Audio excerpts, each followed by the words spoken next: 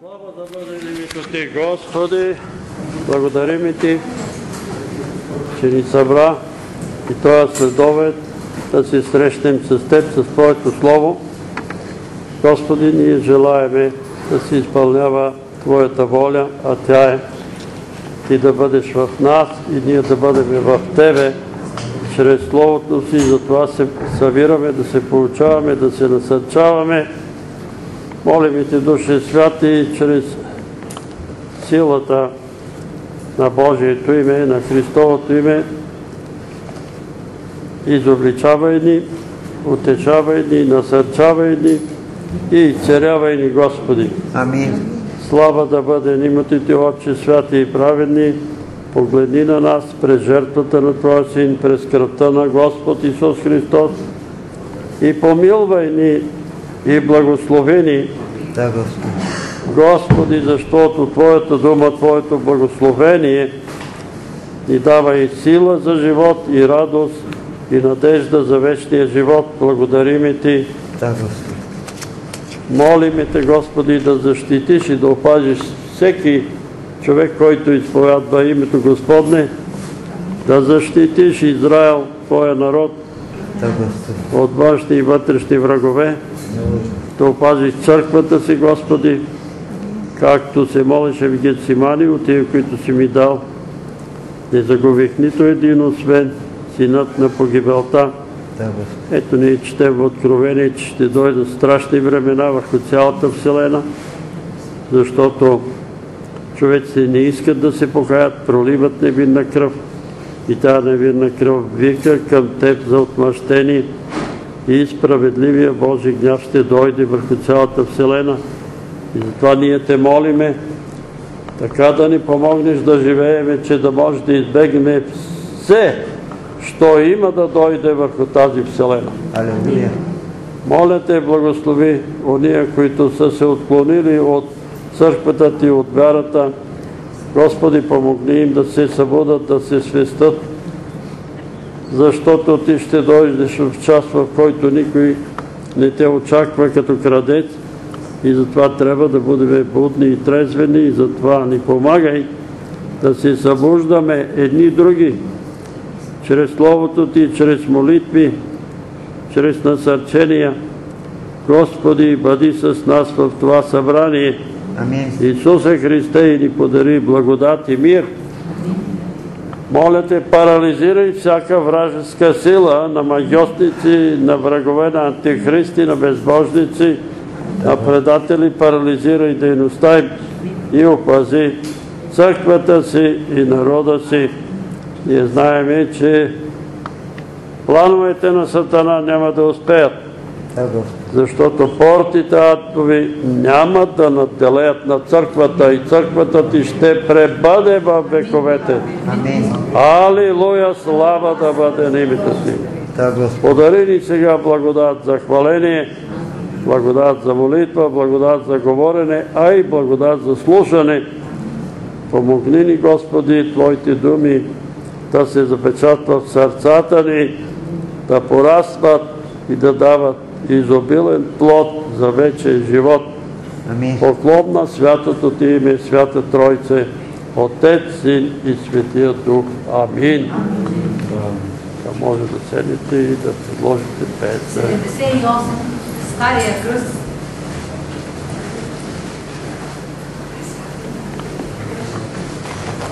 Червените писма.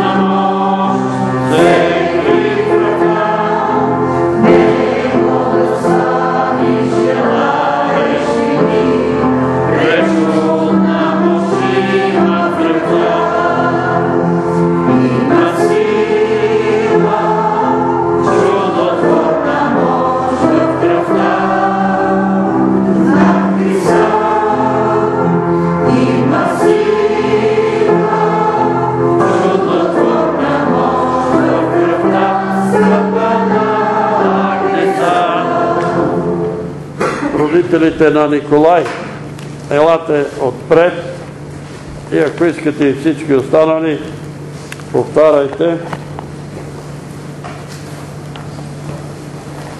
Направете место там, е тук, е там, може да седнете. Но се изправете сега.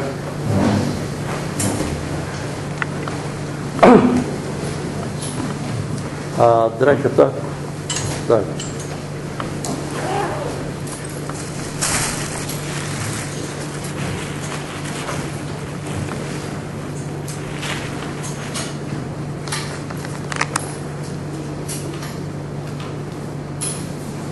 Брати и сестри, да се помолим за Николай на 16 години. След стрес, след живото спасяваща операция, изпадна в тежко състояние, първо се разгневява, агресивен, не иска да вярва в Бога,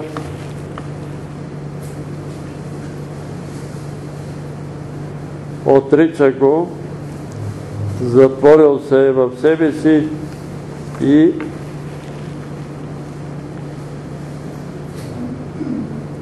и не допуска никой до себе си, казва, че сам трябва да се справя с проблемите, но състоянието му се влушава, се страва в Господа. Дали той е повярвал, но след тази операция получава този стрес и ето резултата е плачевен. Нека направим отричане, отричайте се, след мен повтаряйте, родителите.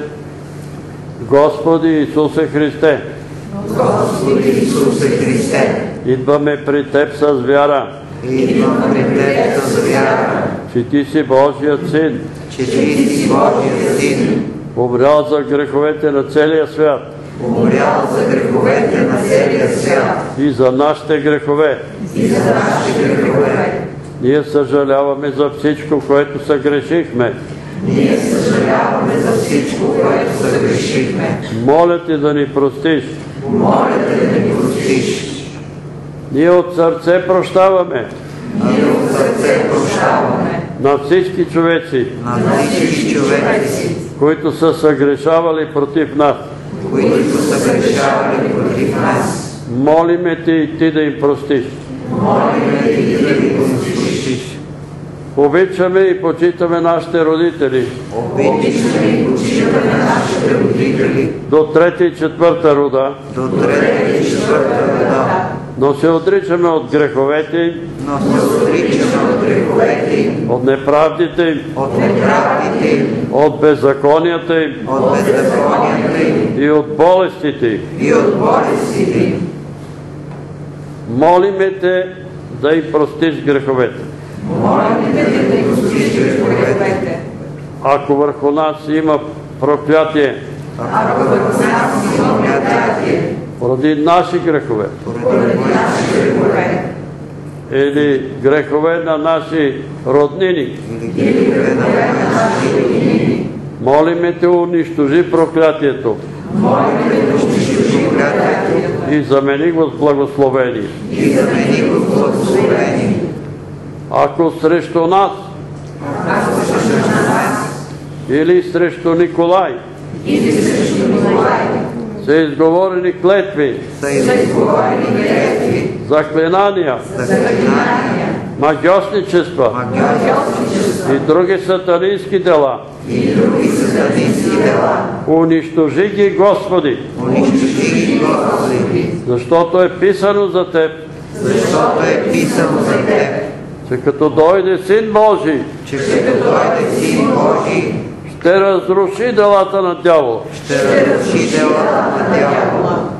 Сине Божий, Сине Божий, и дойди. Дойди. И разруши делата на дявола. И разруши делата на дявола. В моя живот. В моя живот. И в живота на Николай, и в живота на Николай, защото е писано за Теб, защото е писано за Теб, че ти ще разрушиш делата на дявола. че ти ще разрушиш делата на дявола, Унищожи всяка демонична връзка, унищожи всяка демонична връзка. На моя дух, на моята дух, на моята душа. На моята душа. И духа на Николай, и духа на Николай, и душата на Николай. и душата на Николай, Да няма никаква демонична връзка. да няма никаква демонична връзка. Ние се отричаме от Сатана, Ние се отричаме от Сатана, от духа на Антихриста от духа на Антихриста и от духа на лъже пророка. и от духа на лъжепророка. Не желаеме да имаме нищо общо с тях, Не имат нищо общо с тях, нито те да имат нещо в нас. нито те да имат нещо с нас. Не желаеме да има Николай нещо общо с тях, Кой да има нещо общо с тях, нито те да имат нещо в него. нито те да имат нещо в него. Ние желаеме тук на земята Желая земята и във вечността и във вечността да бъдеме с Теб, Господи, да бъдем с Теб, Господи, и с Твоите светии. с Твоите свети. И те молиме и Николай да бъде с Теб И да молим и Николай да бъде с Теб и с Твоите светии. и с Твоите свети. И затова Те приемаме И затова те приемаме за наш личен освободител, за наш личен освободител, за наш личен Господ и Спасител за наш личен Господ и Спасител, и за наш личен универсален лекар. и за наш личен универсален лекар. И Те молиме, И те молим, освободи духа ни освободи духа ни и освободи духа на Николай и освободи от всякаква демонична, от всякакво демонично присъствие. от всякакво демонично присъствие. Спаси душите ни, Спаси душата ни, спаси душата на Николай. Спаси душата на Николай. И цели телата ни. И цели телата ни. От всяка болест. От всяка болест. И от всяка немощ. и от всяка немощ. И цели молиме те тялото на Николай И цели молим те тялото на Николай от всяка болест от всяка болест и от всяка немощ. и от всяка немощ. Амин. Един момент. Като се отричаш от сатанинска връзка, виждам един черен човек с кълбойска шапка, застанал с пушка. Цели се, но не стреля. Гледа ли много такива филми, ковбойски? Да, да. Това е единственото, което... Това му е ето, единственото. И ние викаме, бе, те са невинни кълбойски филми, обаче зад текст се крие тяло. Господи, издигаме тази дреха, която символизира тялото на Николай, те молиме да я осветиш, душе святи, и с Твоето присъствие. И когато бъде помазана, молиме Те, душе на истината, чрез силата на изцарението в Исусовото име да придружиш дрехата и когато бъде поставена върху тялото на Николай, в името на Отца и Сина и Светия Дух да се разпръснат всички нечестиви духове. Николай да бъде освободен от всеки болестен и зъл дух, да бъде развързан и очистен тук на земята и в небесните места. Помазвам тази дреха в името на Отца и Сина и Светия Дух. Амин. За прошка на греховете на Николай, за изцерение на тялото на Николай, за освобождение на духа му от всеки зъл дух и за вечен живот. Молиме Те, Господи, тази помазана дреха да я придружават Твоите ангели и да извършат освобождението и царението на Николай. Сега, като се съединявам с Божия дух и в името на Господ Исус Христос, който е казал, че с Неговото име ще изгонваме бесове, заповядвам на всички болесни, зли, нечисти духове всички бесове, да напуснете духа, душата и тялото на Николай, когато тази дреха бъде поставена върху него. Това Слово Божие е изговорено от устата на Господа на силите, на нашия Господ и Спасител, да придружава тази дреха и да отиде и да изпълни това, което е предназначено за здравето, за съвършеното и царение на 16 годишния Николай. Носете, скъпи родители, здраве на Николай, с вяра го приемете. Започна да тиктака часовник и едно голямо колело се задвижи на ремък и когато се молеше Живота му ще започне да се движи нормално. изтребители се изстреляха. Е, Ескадрила изтребители излетяха. Изтребители, значи молитвата на всички хора отида горе в небето. С вяра го приемете. Така, може да седнете.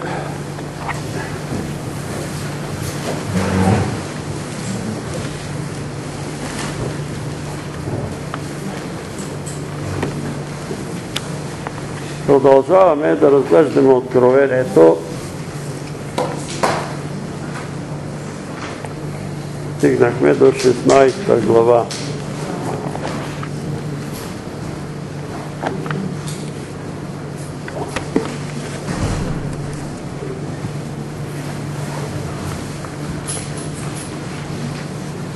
И чух от храма висок глас да казва на седемте ангели, идете, излейте на земята седемте чаши с гнева Божи. Отиде първият ангел да изля на земята своята чаша и по човеците, които имаха белега на звяра и се покланяха на образа му, появиха се лоши и люти струпи. Вторият ангел изля своята чаша в морето и то стана на кръв, като кръвта на убит човек. И всяко живо в морето и всичко живо в морето измря. Третият ангел изда чашата си в реките и в изворите водни и те станаха на кръв. След това чух ангела на водите да казва Праведен си Господи, който си, който си бил и който си свет, задето тъй си отсъдил, понеже те проливаха кръв на светии и пророци и ти им даде кръв да пият. Заслужават това. И чух други го да говори от жертвеника. Да, Господи Боже Вседържителю, истински и праведни са Твоите присъди. Четвъртият ангел изда чашата си върху слънцето и даде му се да опава с огън човеците. И силна жега опали човеците и те похулиха името на Бога, който имаше тази власт на тия порази и се не покаяха да му въздадат слава.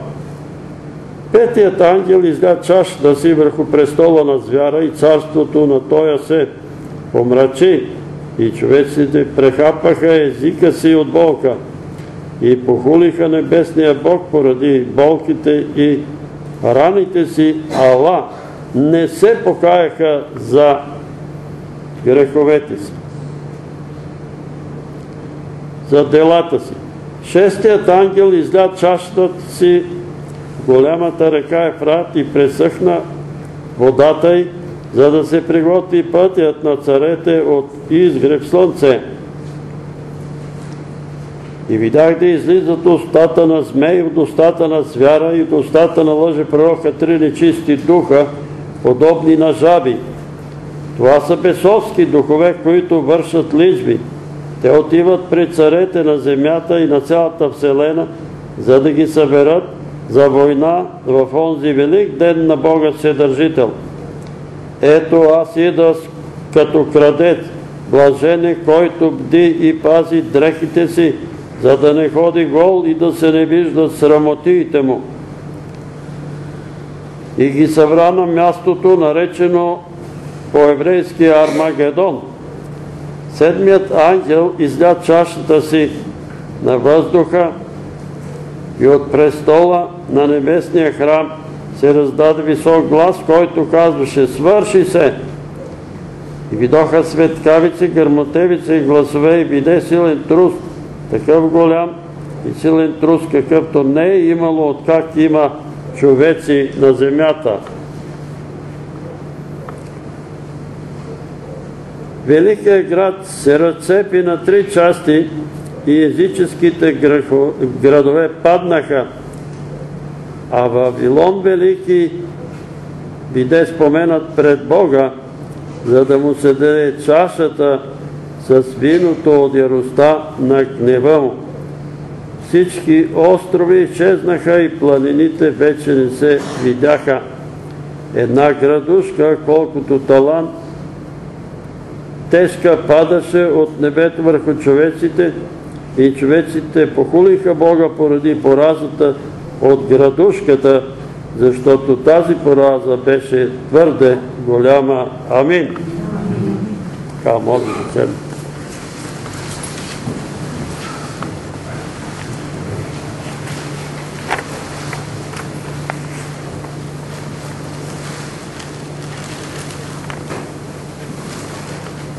Когато неверващи хора четат тия думи и казват, абе, какъв е този Бог? Много е жесток. Много. Обаче, ние знаем от Евангелията защо е жесток. Защото е справедлив.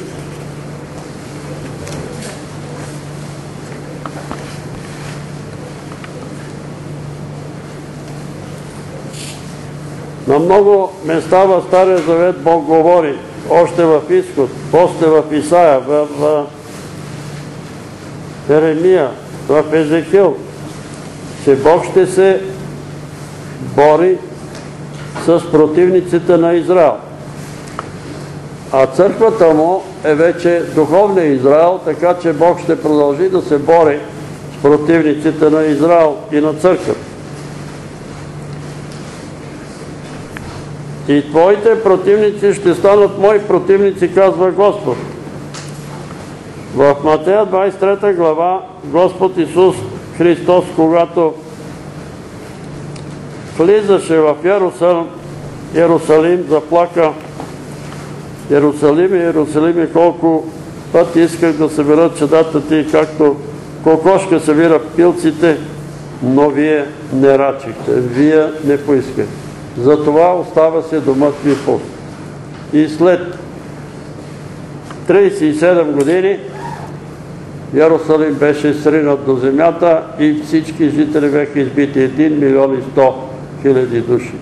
Беха избити, разрушени, разрушени, останала беше само една стена на плача, която ходихме да я видим и сега и други, които желаят и пожелавам да я видят, Останала е там да плачат израелтаните. И пак там се молят и чакат да дойде друг светия, а не друг месия. Нали? И пак не се съгласяват да се съберат под крилата на Исус. И той тогава, когато заплака там и изговори тия думи, каза и тия думи. Ето аз пращам при вас пророци мъдреци, книжници, и едни ще убиете и разпнете, а други ще бичувате в синагогите си и ще изгонвате от град в град, за да падне върху ви всичката кръв праведна. От кръвта на праведния Тавел до кръвта на Захария, син Марахиин, когато убихте между храма и жертвеника. За това ще дойде Божия гняв. Някои читат, че Захария е бащата на Йоанн Кръстител. И Йоанн Кръстител също беше убит. И сега, защо, Господи ви, защо? Защо в България са избити над 200 свещеници и пастири? Защо? Защо продължиха да ги избиват? Защо убиха Георги Тодоров? Защо отровиха сестра Виктория, на което аз съм свидетел? Защо я отровихте? Защото носи името Виктория. И после пищите и олеле, защо Господи? Ми защото кръвта вика за отмъщение. Кръвта вика за отмъщение. Да не говориме колко кръв е пролята в Ловеч, в Белен. Колко кръв е пролята там, на невинни хора. Защото не искат да се разпишат, не искат да се поклонят.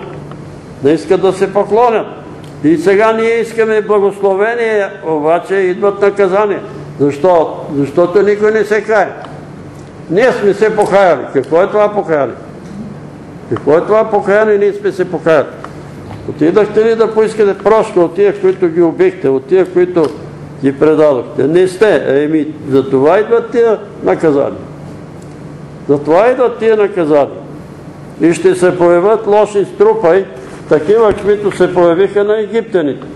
Когато, ако си спомняте, Арони вземаха прах и хвърлиха и те не се съгласиха да ги пуснат. А какво правеха египтяните? Увеличете им нормата, още повече. Увеличете им нормата. Когато работех в 6 септември, имаше някакво заводско събрание. Един стругар стана и каза, абе, другари, аз работя вече 30 години на този струг. И аз се амортизирах и струга се амортизира. А вие всеко три месече увеличавате норма.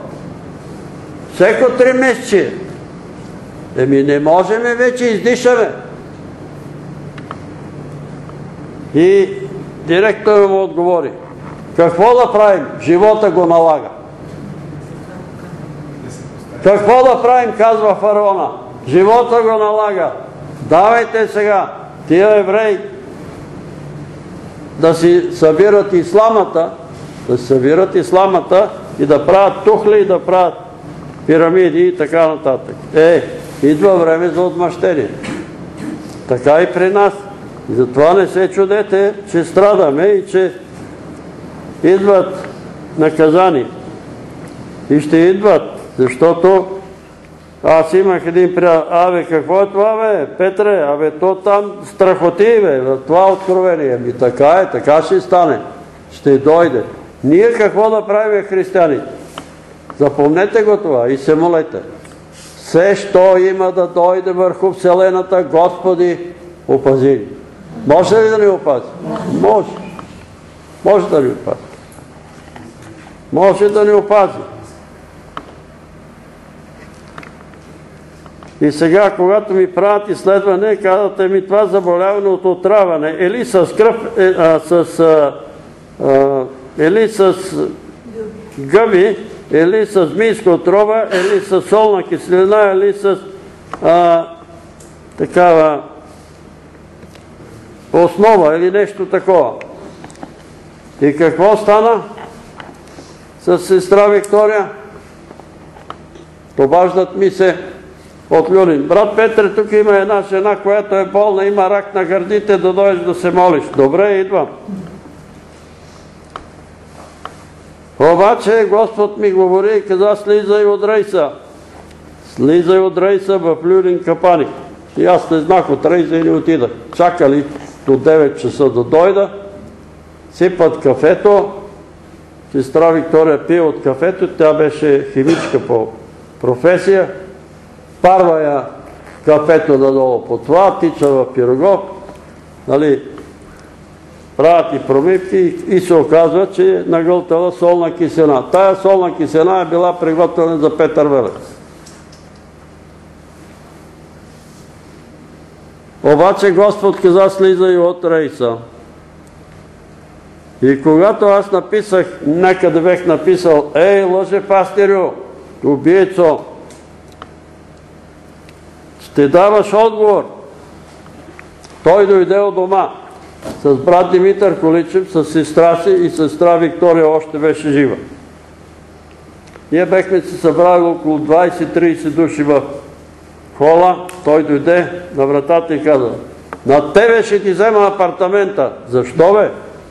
Защото си писал за мене, че съм лъже пастир. Така ли? Я ела в спалнята. Елате и вие, брат Количев и тия. Заклевам те Божието име да говориш истина. Ти излъжеш ли, ще направиш Бога лъже, че пани ще умреш като Анани и Сапир. Агент ли си на държавна сигурност? Еми да, аз иска да стана пастир и те ме оплетох. Е като са те оплели, къде си тръгнал да ми взимаш апартамента? И така, сестра Виктория не можаха да я изцерат. Тя си замина. Но някъде мен са ме тровили по същия начин без да знам. И сега откриват, че заболяването ми е от отравяне. От отравяне. Господ да ги смъмре. Аз им прощавам това, което са правили срещу мен. Но срещу сестра Виктория не мога да прощавам. Срещу избитите пастири и свещеници не мога да прощавам. Защото много хора са си заминали, ние мислиме, че трябва случайно, стана случайно, инфаркт случайно. Нищо няма случайно. Всичко е било подготвено. И кръвта на тия хора сега вика за отмъщение. И Господ казва, че ще има отмъщение. И че това отмъщение ще бъде такова. Първо на хората, които са се кланят на Антихриста, които са сложени на Антихриста, ще се появят лоши рани и цири по телата, които няма да оздравеят. И такива образования се появяват по телата на хората. И лекарите се мъчат, но нищо не става. Могат ли такива хора да бъдат изцерени? Могат. Кога? Като сключат мирен договор с Небесното царство и кажат, такъв бех, отричам се, приемам Господ за мой Исус за мой Господ и Спасител. Господ може да ги цари. Ние сме свидетели как такива хора беха и.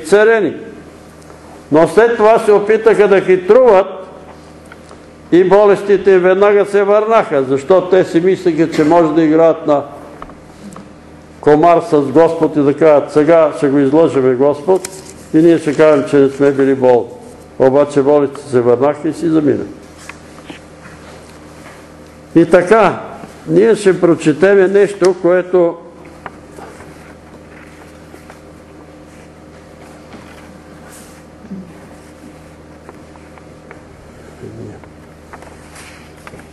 за което трябва да поговориме.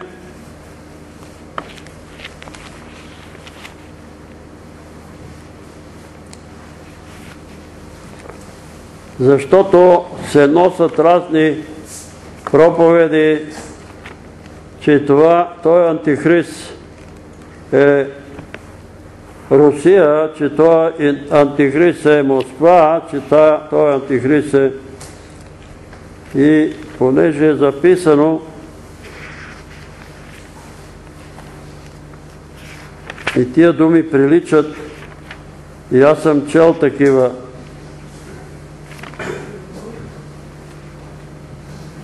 Проповеди, че мост, това е Москва, че Рос е Русия, че това е азерите, азербайджанците,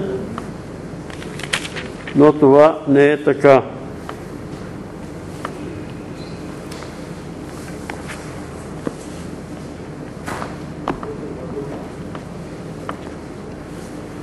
Ония руснаци, ония московчани, ония азери, които са против Израел, които са против църквата и за тех се отнася.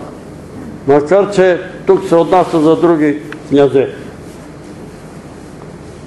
Ти пък, сине човешки, изречи пророчество против Гога и кажи, тъй казва Господ Бог, ето аз съм против тебе, Гоге, княже на Рош, Мешек и Товал. Ще те върна и ще те доведа ще те изведа от северните краща и ще те доведа на Израелевите планини. Ще избия лъкът ти с твоята лява ръка и ще изхвърля стрелите ти от твоята дясна ръка. Ще паднеш на Израелевите планини. Ти и всички твои полкови и народите, които са с тебе. Ще дам да те изядат всякакви грабливи птици и полски зверове ще паднеш на открито поле, защото аз рекох това, казва Господ. И ще пратя огън върху земята Магог и върху жителите островите, които живеят безгрижно и ще познаят, че аз съм Господ.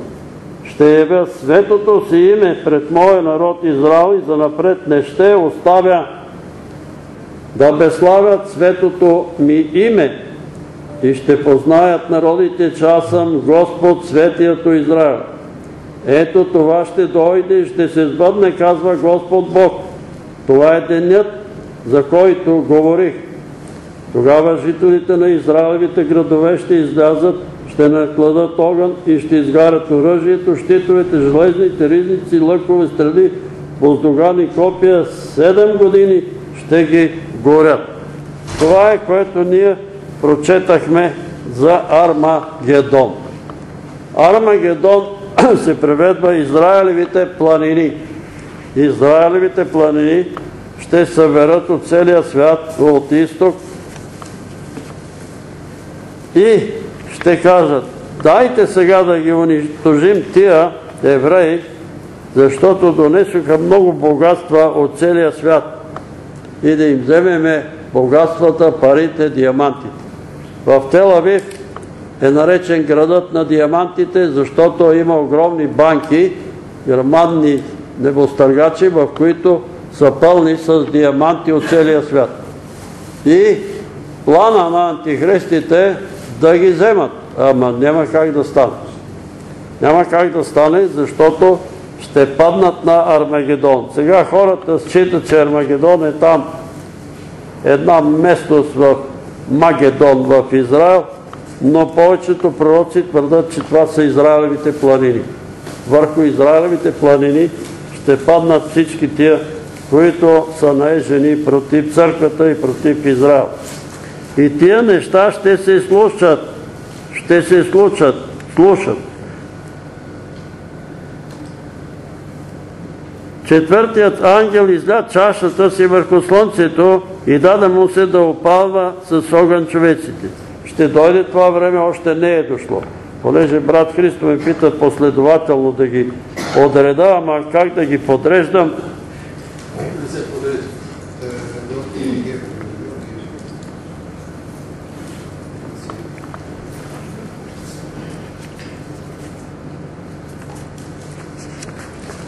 И кога ще стане това? Това ще стане, когато дойде Антихрист, когато царува три години и половина и когато настане мир на цялата планета. И тогава казва апостол Павел в посланието до Солунците и когато всички кажат мир и безопасност, ще ги постигне внезапно погубление.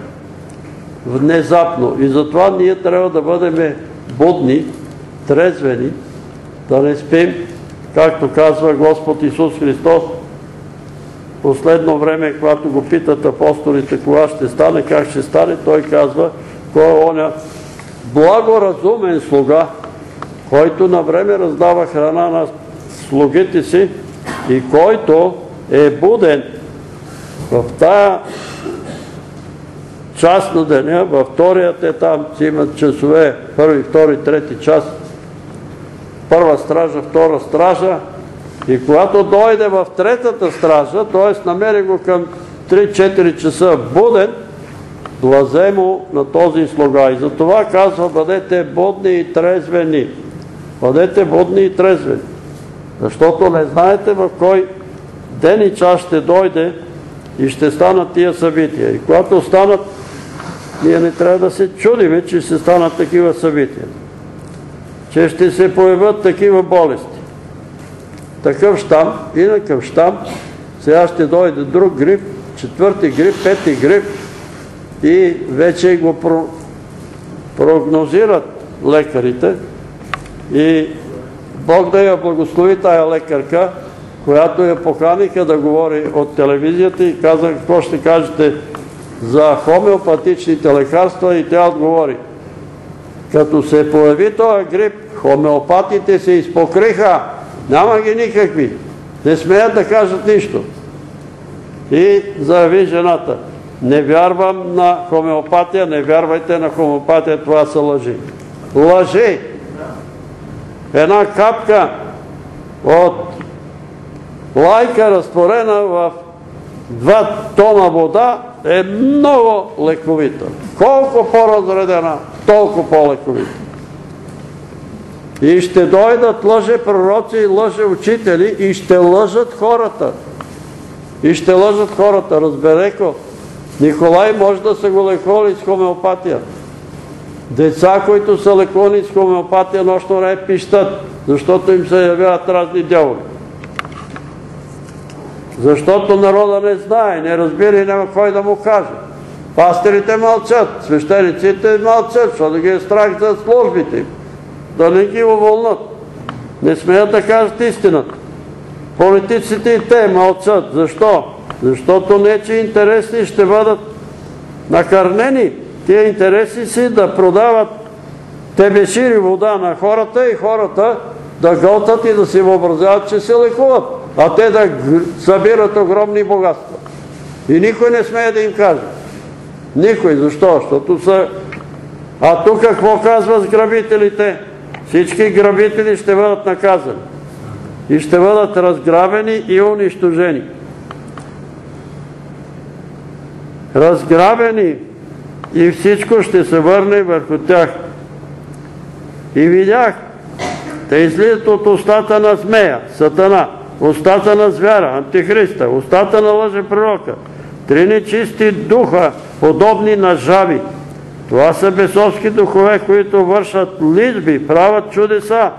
Те отиват при царе, те на земята и на цялата вселена, за да ги съберат на война в онзи велик ден на Бога Вседържител. Така че не се впечатлявайте от такива чудеса. Копърфилд лети във въздуха. Сега, моята сестра, нейният племенник го е видял, как лети във въздуха. На такива чудеса не се... Какъв е Копърфил? Екстрасенс. Каспировски, не знам кой. И хората, айде, народа тръгва по тех. За да бъдат измамени и излъгани. Ние не сме против чудесата, но чудесата трябва да имат цел, не чудеса такива да плашиш хората и да види, е сега ще направят, да гръбне това, да гръбне това. И какво като го направиш и какво като се подигнеш във въздуха, има предание за магиосника Симон, че се е вдигнал във въздуха. Има такова предание. Дявола го е вдигнал във въздуха в Самария, след като апостол Павел Петър му каза, парите ти и ти да се провалите в ада, защото сърцето ти не е право пред Бога. Ти искаш пари да купиш Святия Дух. Нема как да го купиш. И той се озлобил, дигнал се във въздуха и апостол Петър казал, дявола пусни го. И Сатана го пуска и така загива Симон Магьор. Да чуят магиосниците, защото те продължават да вилнеят, да вършат зло на християните и пътуват за деня на Божия гняв. Всички магиосници пътуват за този час и ден, когато ще ги изтреби Господ. Ще се пържат и ще горят в огън. Могат ли да бъдат спасени? Могат. Магиосниците в Ефес донесоха и първата им работа е да изгорят книгите си пред краката на апостоли. И една сестра от 50-ната църква, втора 50-на, ме заведе в блок номер едно в младост. Една жена, която работила като масажистка, се парализирала и не може да стане от леглото. И когато отидах, може и да прегледам тук книгите, може. Бела и черна магия. Защо ти е това, бе, сестра? А тя е сестра от 50-та църква. Бяла и черна магия. Дъно, Ванга, не знам кой.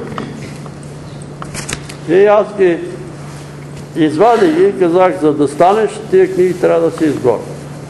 Ами взимай ги и ги гори. Тук имаше печка.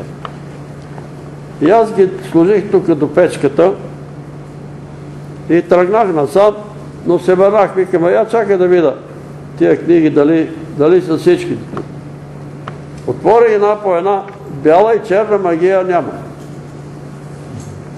А ние се молихме за нея и тя стана от леглото. И отиде да свари кафе. И докато аз пия кафето, книгите беха зад мен, минала и си взимала черна, бела и черна. За какво ти е? За какво ти е? Ние ги изгорехме другите книги. След една или две години оная сестра пак се обажда. Брат Петре, оная сестра от блок едно пак се е парализирала.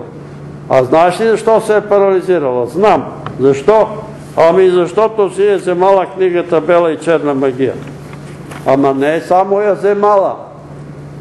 За какво е? Тя е започнала да прави магии на християните. И ходи на зъбчето там. И е християнка. Обаче Бог не дава да ходи. Заковал я е на леглото. И не може да мръдне оттам. Ще дойдеш ли да се молим? Няма да дойде. Да донесе книгата тук на Булина Ливада, бела и черна магия и тогава ще се моли. И тогава ще се моли.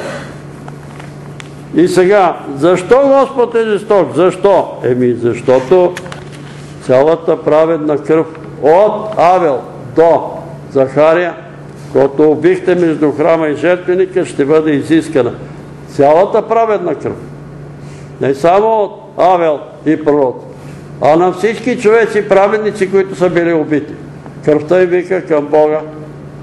И за това, вие си спомняте, сестра Мария и Кристабела дойдоха тук, брат Петре, много хора загиват по щета да се молиме. Да се молиме Бог да спре това, тая война по шосетата. И аз се молих, Господи, спри тая война. Спри тая война по шосетата. Да не загиват хора. Няма да бъде спряна. Няма да бъде спряна. Кръвта на убитите в България вика за отмъщение. Убийците и потомството им ще катастрофират по шосета и ще загиват и ще си заминават, ако не се покаят. А кой се кая? И тогава сънувах сън, че съм на Саранския баер и аз знам, че сега хората си мислят само за избитите пастири и свещеници. Обаче там на Саранския баир има един паметник на избити комунисти, партизани, комунисти. Ако вървите нагоре, така в дясно има отбивка и един голям паметник. И точно там аз съм виждал много катастрофи. Има един много голям завой, почти 150 градуса и на този завой хората не се съобразяват, че е толкова голям завоя и един след друг се блъска там в стените, един трактор видех обърнат, друга кола.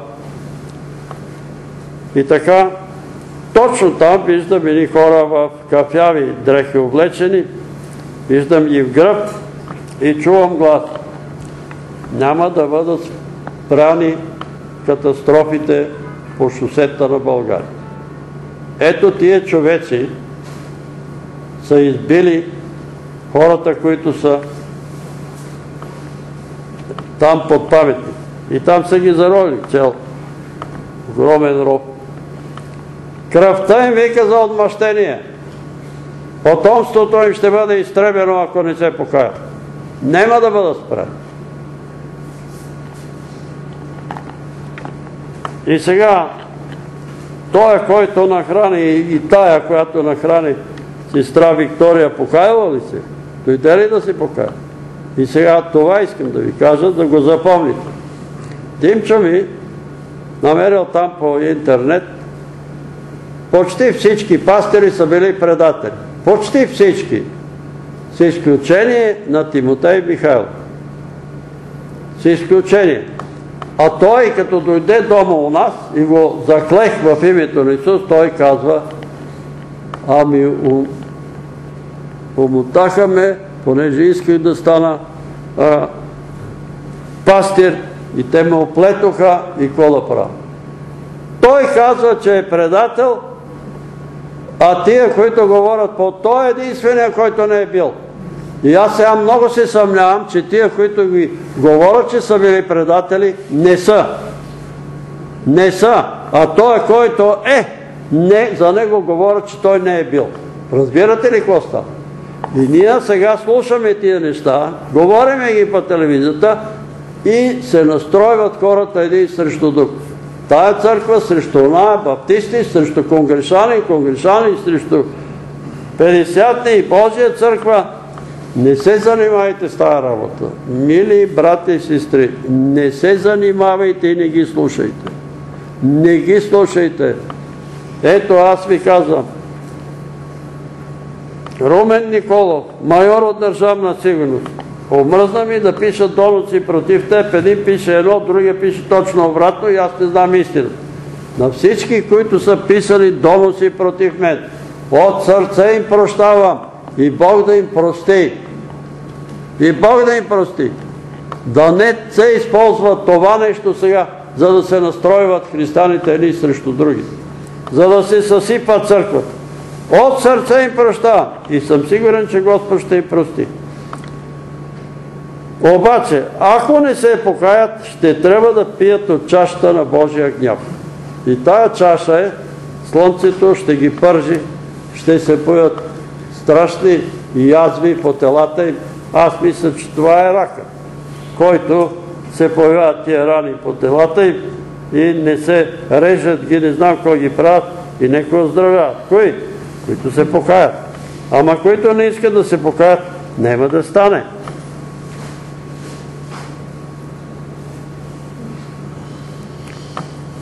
Седмият ангел изля чашата си на въздуха и от престола на небесния храм се раздаде висок глас, който казваше Свърши се! Какво се е свършило? Свърши се с войната против църквата Израел. Враговете са унищожени. Край. Свърши се. Изцелението Спомняте ли се какво, какво каза Исус? Свърши се на, на кръста. Какво стана? Спасението е изработено. Спасението е изработено. От нас се иска да го приемем, да го повярваме, да го приемем, не да се правиме на много праведни или на много а, святи, а да го приемем защото това спасение е приготвено за най-големите грешници и за най-малките грешници. Но няма такива праведници, които да бъдат спасени без да приемат жертвата на Господ Исус Христос. Нема да стане, колкото и праведни да са. Защо? Защото техната правда е парцалива дреха и може да изглеждат праведни пред хората, но иначе ако им отвори досието Господ и сега ние виждаме колко хора беха праведни, добри, честни граждани на Република България и като почнаха да им отварят досиетата, се оказа, че са били фалшиви. Фалшиви праведници. А когато отвори досиетата Господ, тогава какво ще стане? Затова сега, грешници, мои мили братя грешници, сега приемайте Господ Исус Христос, досиетата ви ще бъдат изгорени, както успяха да изгорят на много хора досиетата там в партийния дом, само че на небето не са изгорени. Те се заблуждават и мислят, че щом там изгориха досиетата, горе в небето са изтрити. Не са изтрити. Ако тия партийни функционери не се покаят, изгорените им досиета няма да ги спасат, защото ще се разкрият други досиета. Другите досиета. Свърши се и земята ще бъде обновена.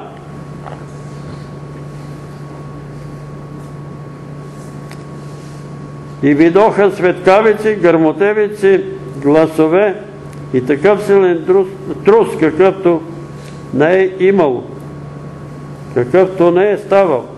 От как има човеци на земята. Такова земетресение ще стане. И Великият град ще се раздели на три, ще се разцепи на три, а езическите градове ще се сринат. И Вавилон, велики, ще бъде споменат пред Бога, за да му се даде чашата с вино от ероста на гнева Божия. Една градушка, колкото талант, тежка валеше от небето върху човеците, а човеците похулиха Бога поради поразата от градушката, защото тази градушка беше твърде голяма. Трябва да видим тук един момент талант. Около 30 кг. Има Около 30 км. чувал, А, чу- 25, това, това беше памет от небето. 42 Сега ние мислиме, че това е страшно и невъзможно. Не знам обаче дали знаете и помните, че една година в Врачанска област валяха градушка падаше колкото портокали. Ето. И потрепа там крави, овци, потроши керамидите на хората.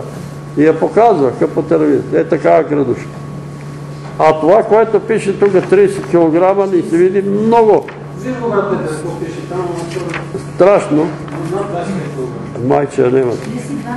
Трябва да го Не, в другата карта споря, различен не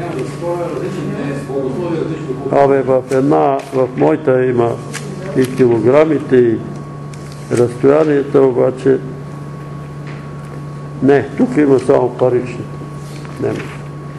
Една 30 Но над около 30 кг. Градушка около 30 кг, може да си представите какво ще се случи. С къщи, коли, дали ще остане една кола не- непотрошена. А за колите остави къщите, къщите, къщите, какво ще стане? С покривите на къщите. Абе, колите вика нищо колите. Ама нема, нема да остане, брат Христо, една кола, бе. И твоята кола, и нея ще я смачкат. Такива 30 кг да падне отгоре и то е голема височина, голема скорост. Това е. Това е положението. Какво трябва ние да правим? Бягай лоте за живота си. Спасявайте се, бъдете будни.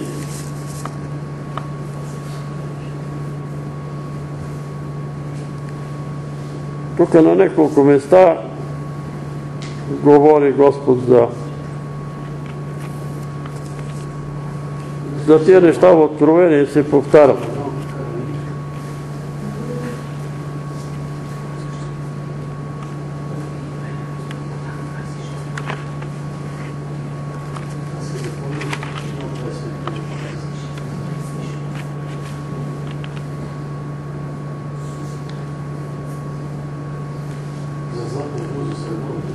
Защото сами вие добре знаете, че денят Господен ще дойде тъй, както крадец нощя. Това го казва Господ Исус Христос. Защото когато рекат мир и безопасност, тогава внезапно ще ги постигне гибел, както родилни болки постигат трудна жена и няма да избягнат. А вие, братя, не сте в тъмнина, та денят да ви завари като крадец. Защото всички вие сте синове на светлината и синове на деня. Вие не сте синове на нощта, нито на тъмнината. И тъй, нека не спим, както и другите, а да бъдем бодри и трезвени. Защото които спят, нощя, сп... нощя спят. И които се опиват, нощя се опиват. Ние пък, бидейки синове на деня, нека бъдем трезвени, като наденем бронята на вярата и на любовта и шлема на надеждата за спасение. Защото Бог ни определи не за гняв, а за придобием спасение чрез Господа нашего Исуса Христа, който умря за нас, да ние будни да сме или спим, да живеем заедно с Него. Амин. Така че тия събития да не ни страскат за това, което има да стане и то ще стане. То ще стане. Както другите неща станали, така ще стане и то. Но, ако сме вършили неправди и беззакони, сега е време да се покаем и да ги изповядаме и да ги спрем.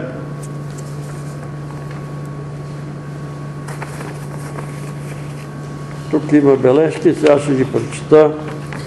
Ще се молим и за тия Може ли да хора. ми дадеш листчето с стих? Кое? Листчето с стихове. Личито е стих.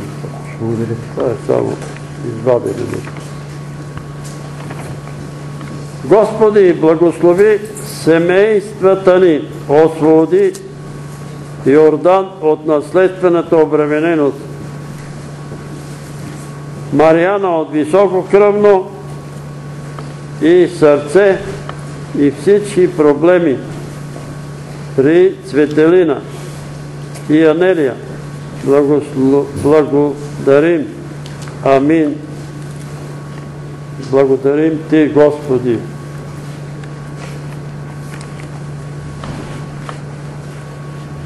Нема ли ги? Нема ги. А, тук сте. Добре. А майка и майка ти я не. Болна. Господи, смили се за този дом. Да се помолиме Бог да изцели брат Радостин от симптоми на множествена склероза. Милост, Господи, за Радостин. Милост.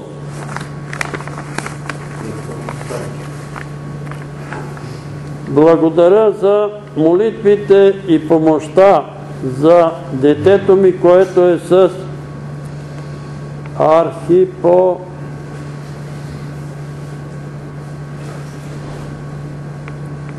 архипощена киста. Моля ви за последно усилие църквата да помогне за заминаването ми при, при най-добрият хирург. Той пое ангажимент да лекува детето. Нуждаеме се от билети за Варна за отиване на отиване и връщане. Бог да благослови църквата. Амин. Така, кой дава тази бележка? Добре. Има вероятност да не го оперира. да не го оперира.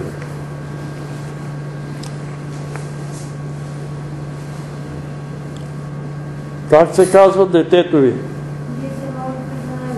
Как? Самир. Даниел.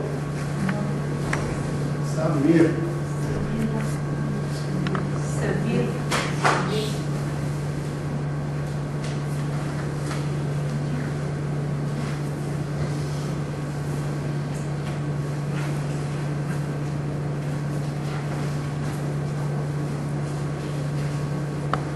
Ами, немаме събрани в момента пари. Трябва да обиколиме с една чанта нещо, кой колкото може, но и немаме събрани пари. Немаме пари излишни, не само излишни, изобщо нямаме пари. А трябва да плащаме, сестра Ваня ще каже, дойде ли до тока?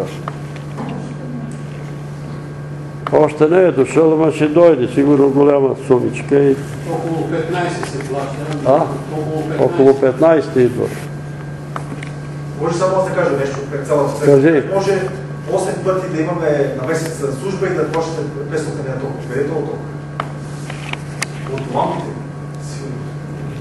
Много е чудо нещо. Еми, ви сега, много е, ама тук имаше е там една печка, е там една печка, е тук една. Е И ток. всичките гореха. Освен не сме само четири, има още една църква. Не сме само ние. Еми ето го, бърмчи. Той, си бърмчи. Е, не вярвам, може някой да се от комшиите да се е прекачал там, обаче 100%. аз не мога да го фана. Това е работа на... И те се прикачват не само там, те се прикачват горе на столове. Да се катерат горе по се Така че цели мога да разбере кой откъде. е. Но има Господ. Бележката идва, ние сме тръгли да, я- да длъжни да я платиме. Има си Господ. На мене ми идва бележката, верно, аз съм на ток 30 лева за декември, 50 лева за януари, но една духалка върти почти всеки ден. Почти всеки ден. Много са, за съжаление, ама трябва да ги плащаме. Ако то се знае, че така ще бъде, с печката беше по-лесно, но не се яви никой желаещ да чисти печката и да я пали. Никой. Помолихме тук. Има ли човек, който два пъти в седмицата да дойде по-рано, да запали печката, да я очисти, да изсърли буклука и да я запали. И друг, който е тук до вратата, или Жоро, или някой друг, ще слага дърветата. Мълчание. Пастор, това е работа с 10 минути, ама който го преси. Еми, али не, що не идваш ти да го правиш? Еми, аз ще го правя, ама... Ми казахме ми, че ви плащаме по 100 лева на този човек, който пали печката. служете, аз ще го правя това. Аз се събързам. Ема, сега, когато изхвърлихме печките, а тогава никой не иска. Аз съм директен. Ще- Що му каза нещо на Ти честа? си директен, ама трябва за другата зима, за тая вече мина. От този месец, другия ще го спреме това. Тук да, да се молиме за Мария. Бог да й посочи пътя към Него. Молитва за Божидар и Мария. Бог да им даде дух на покаяние. Брат Димитър. Безкрайна благодарност за Божията милост над майка ми Иванка претърпя много сложна и живото спасяваща операция на мозъка и беше съвършено изцелена. В резултат на тези трудности тя повярва и прие Исус Христос за свой личен Господ, за свой личен Спасител. Благодаря! Господ да благослови сестра Мария, Благодарим и на Бога за всичко, което е направено за нея. Благодарим и на лекарите, които се грижат. Брати и сестри, бех с... Това бехме в окръжна болница. Ама те фърчат като такова, бе. Абе, търчат един след друг ги докарват тия спешни. Веднага оперират, тичат, там една мила сестричка тия, един доктор Павло го запомни. Абе, те не спират, бе, не сядат една минута. Викам, бе, нема ли да ядете, бе? Нема, нема яден. Стана един часа, стана един... И ние викаме, бе, тия доктори нищо не правят. Некои не правят, ама некои много правят. Тичат, за да спасяват живота на хората. И затова да се молиме Бог да благославя докторите и да им дава мъдрост и знание какво да правят, да не допускат грешки. Да се помолиме за брат Краси от Люлин 333, който седи на тъмно две години, няма здравни осигуровки и три години брат Краси няма пари и почти е неподвижен. Той също приема бездомни хора да живеят при него. А при него няма и тъмнина, няма и топлина, те живеят при него. Всички братя да гледат по интернет.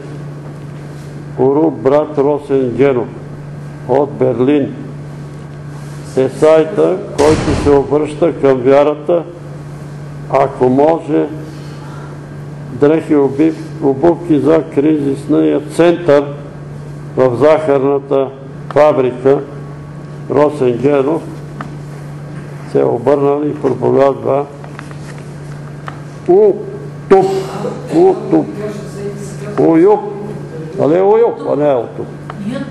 Уюп знам, че е. не е. YouTube. Ами знаят. Напишете тогава Росен Генов да видим какво ще. Брата и сестри, нека се помолиме за брат ми Александър, който е в болница и в понеделник е на операция. Исус умря и за него, Бог да му даде покаяние за извика към него. Амин. И да го спаси и цари. Слава на името му ваша сестра. Сестро, Исус казва, който дойде при мене, няма да бъде изпаден. Обаче, брат ти трябва да каже, помилвай ме, Господи. Говорете му да го изговори това. Господи, помилвай ме. И ще го спаси, и ще го изцели. Обаче, ако не иска, колко и да се молим, ако той отвърля Бога, как да стане? Как да стане? Исус тропа на вратата. Вратата не се отваря. Той отива, тропа на сърцето му. Отвори ми. Той вика, махай се, като гадаринците. Отивай си. Нали трябваш тук? Трябват ни прасетата. Моля ми да подкрепим в молитва сестра Русица. Синът и Ангел е взел кредит, за да се плати найема през почивния сезон, когато ще работи на морето. Дали са му и кредитна карта, Господ да го опази от прекомерно харчене и пилеене и да го развърже от цигарите и хазарта. Сестра Розалия, не можем да се молим, защото Господ е казал, не взимай кредит. За той взима кредит, ние да се молим. Господ казва, не взимайте кредит. Колко пъти тук съм го казвал това. Не взимай кредит, не взимай заеми, защото ще станеш роб на кредитора, роб на заемода. Така е страт Цецки и вашия. И той е чувал и въпреки това е вземал. Сега 20 хиляди разбрах, че има да връща. Еми да се молим Бог да му помогне. И как че му помогне Бог? Ще се гърби, ще работи, ще плаща лихви и свечи му се даде. И сега да се молим, вземал е ангелчо кредит, защото да си плати там найема за през лятото. Защото той работи там, нали? Ама всеки да си прави народа, казва, простирай си краката, докъде ти е черджето. Прострещи ги извън черджето, ще ти измръзнат краката. Не дейте да взимате кредити, не се играйте с огън. Кой как пана, ето брат, как се казва, един брат там, мой много добър приятел, идва дома и вика, сина ми вика, е намерил някой приятел, вика, негов съученик бил банкер там в Ботевград и са му уредили да вземе кредит. Абе, викам, не взимайте кредит, бе, човек. Не взима, бе, ще почне бизнес, нещо ще почне би. Почна бизнес, взема кредита и се провали, всичко отиде и им вземаха апартамента в Люрин и те отидоха да живеят на село. Ето го резултата, неговия приятел, какво добро му е направил. Какво добро?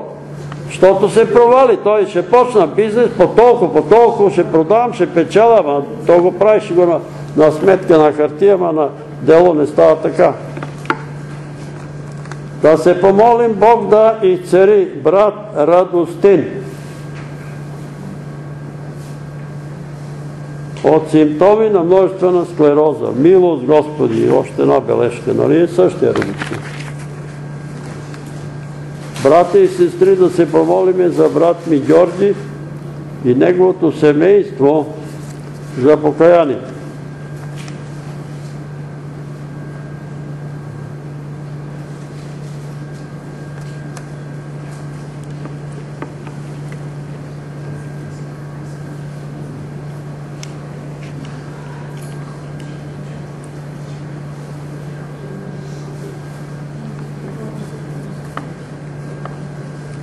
Аба си писал тук, то е А за мен, за подходяща жена по Божията воля. Амин. Да се помолим за брат Дахил и поканата да благовества в Турция, в Измир, през месец март. Нека благовества, но в Измир знам, че има евангелска църква, Оттам ни се обаждаха и ни канат да отидеме на екскурзия в Турция, много ефтина, да обиколиме тия църкви, които са описани в Откровение първите глави, на каква сестра Нейната дъщеря е в тази фирма, но ако има такива желаящи, може да им се обадим. Господи, благослови семейството ни, освободи Йордан от наследствено, да, това го четохме. Да, да се помолиме за управляващите да приемат правилни закони, депутатите, министрите и МВР и прокуратурите да се обърнат към вярата. Трудно ще им бъде. Много от управниците са атеисти, неверници.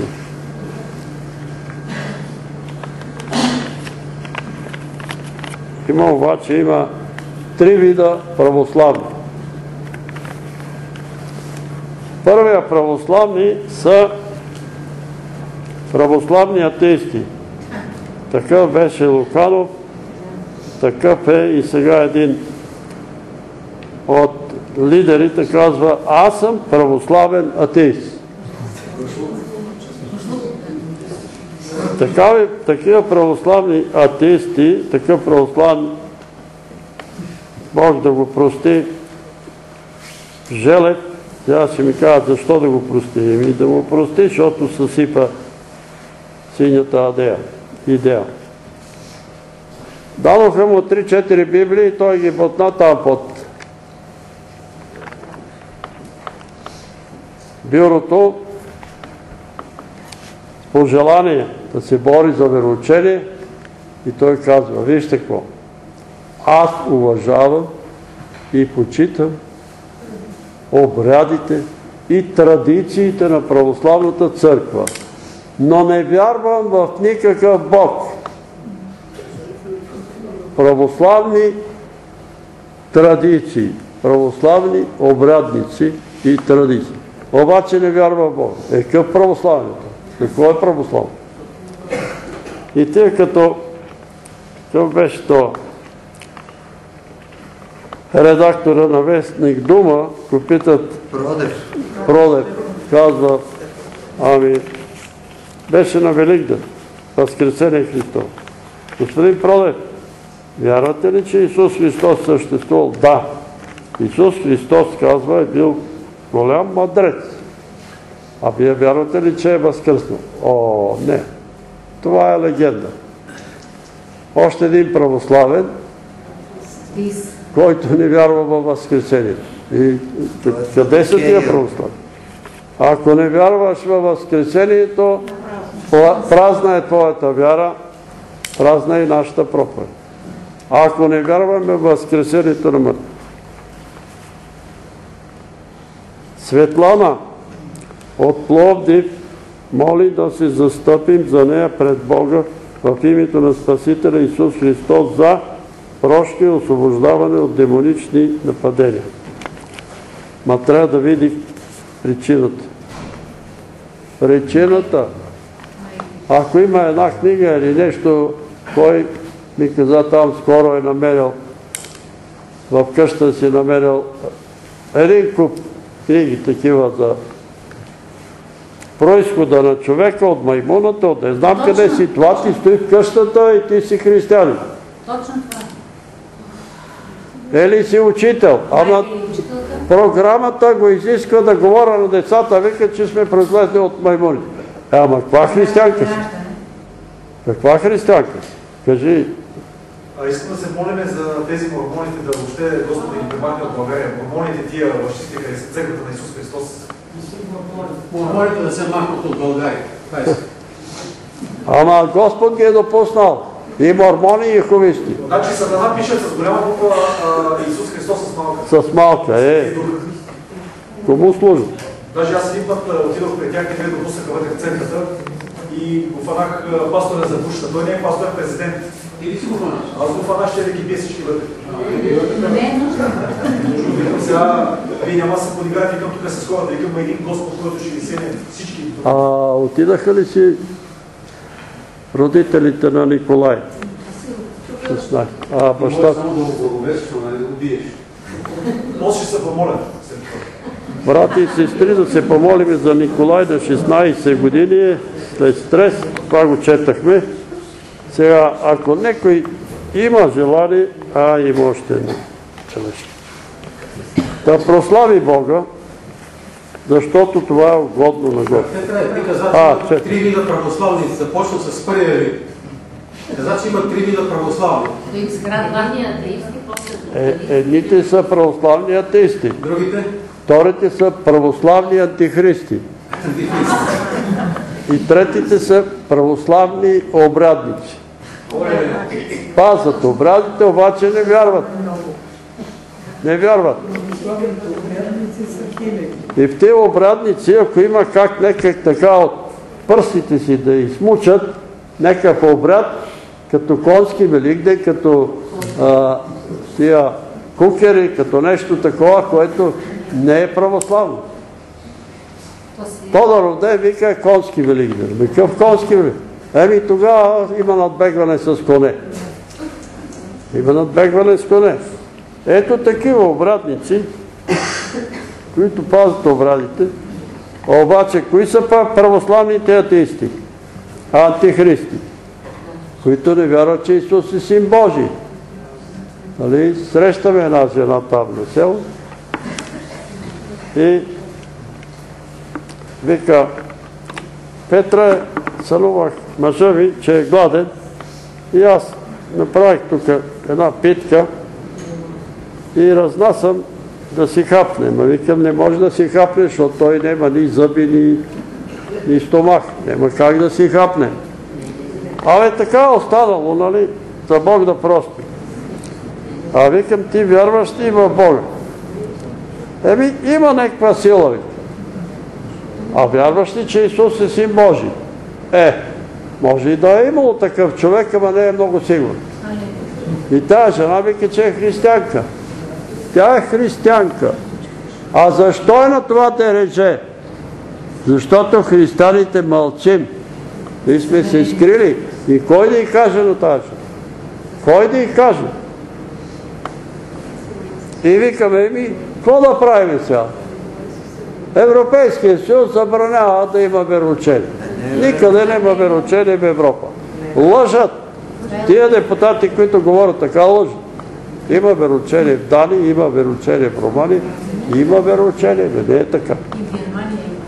Обаче, за да угодат на началниците си, лъжат безцеремонно. А какво пише тук в Откровение?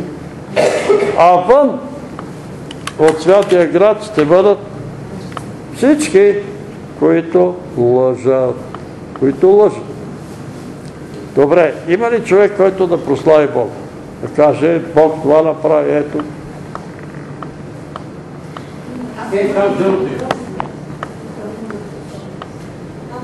А, кажи страва. Искам да благодаря на Бога, второто се помолихте за мене, че някаква бързина има в стомаха и болки, сега изчезнаха, благодаря на Бога. Така, и аз искам да благодаря на Бога, защото все още съм жив. Дето викаше Пламен, благодаря на Бога, можеше да бъде и по-лошо. Помниш ли, кога ми каза, благодаря на Бога, можеше да бъде и по-лошо. Защото с нощи бех с 215 на 105 кръвно, а сега стоя пред вас и съм жив и здрав. Вижте колко време стои и няма проблем. Сега, сутринта обаче си премерих кръвното 135 на 75. Защото трябва да дойда тук и да бъда жив и здрав. И сега, някои сестри ми се обаждат, трябва да се молим и за тебе, трябва да постим. А, постете ме, нямам нищо против. Молете се, мили брати и сестри. Сега съм вземал едно решение, дали е правилно, не знам. От днеска спирам всички лекарства и колко издържа толкова. Сега, тази моята лекарка, която лекува и Димитър Количев, беше много щателна, много внимателно ме преглежда там. Брат Жоро ще ви кажа два часа. Два часа. Час и половина на апаратури разни такива. И лявото предсърдие ли се казва там, е много оголемено от преумора и по тази причина клапата не се затваря. И като не се затваря клапата напълно, кръвта се връща обратно. И се получават тия аномалии. Сега некои ми се обадиха по телефона и им казвам и те викат, а, в а, Света Катерина, там работеше Чирко, правят операции на сърца, може да изложат нова клапа. Само, че съм чувал, че някои от тия, които им ставят нови клапи, като им ударат инжекцията да ти приспът, нали, Не се събуждат. после не се събуждат. И си имат нови клапи, ама вече не се събуди. Така че не знам. Молете се за мен, ако искате да се виждаме пак живи и здрави тук. Аз искам да идвам да се виждаме, да сме живи и здрави. Явно е, че зависи от Божията воля, разбира се, но наскоро четех там, може би съм ви казал, цар Давид пита своя готвач, тръгваш ли с мене? А той казва, царю, на престарала възраст съм, много съм устарял, вече съм на 80 години. Вземи сина ми с тебе. И ето хората тогава се казват, много е остарял. Ана Фануиловата дъщеря беше много стара, на 84 години. Е, малко повече. Ма 86. брат Количев е на 90 вече и първа. Същата лекарка, която него го лекува, сега почва и мен да ме лекува. Значи трябва да бъда послушен, обаче как ще бъда послушен, не знам. Така че, благодаря на Бога, че съм жив и здрав, че сутринта кръвното беше 140 на 75 и пулса 61, защото пулса ми падаше под 50, 46, 45, това е много сериозно и можеше така като си пада надолу, пада, пада и спре изведнъж и до тук. Но да бъде Божията воля, както казва апостол Павел, да отида при Господа, за мене ще бъде по-добре. Даже аз съм го казвал това. Хората не ми вярват, но Господ знае, че говоря истината. Аз бех на стъкленото море и там се молих и казах, Господи, върни ми обратно, защото сестра ми не е повярвал, баща ми не е повярвал, роднините ми. И наистина, и сестра и баща ми повярваха, братовчеди повярваха, нали, първи братовчеди, братовчетки, техни мъже, жени повярваха. Но когато ми е по-зле, така викаме, бе Господи, що ме послуша, да ме върна. Там шех да си бъда добре на стъкленото море. И така като казвам, защо ме послуша и оп, кървното стейна 220. И все едно Господ казва, искаш ли да дойдеш при мен? Много бързо ще стане. За нула време. Но аз се моля и казвам, Господи, да бъде волята.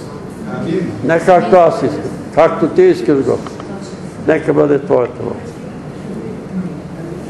Ако искате, молете се за мене във вашите молитви. Кажи, брат Панчо. Преди време, така може би два или три пъти имах така едни думи, които ми се казват, че брат Петър ще премине от тази земя в дълбока старост на дни. Да бъде Божията воля. Кажи, брат Панчо.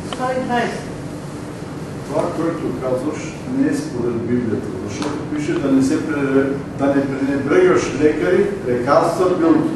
Взимай си поне за кръвното лекарство. Къде го пише? Пише го в Исус син Сарак. Не, прег, не пренебрегвай лекара. Така, обаче, Ако Бог ти открие, разбираме. Ако Да. Бог ти открие, Петре, спри лекарства. И аз съм го мислил да го направя, обаче не. але сега сънувах, че бера такова. Копър. Бера копър. И може би трябва да пия копър. ли се чувстваш от лекарството? Е добре. Не се карайте, моля ви. се. Сега, проблема е друг, брат Пламен.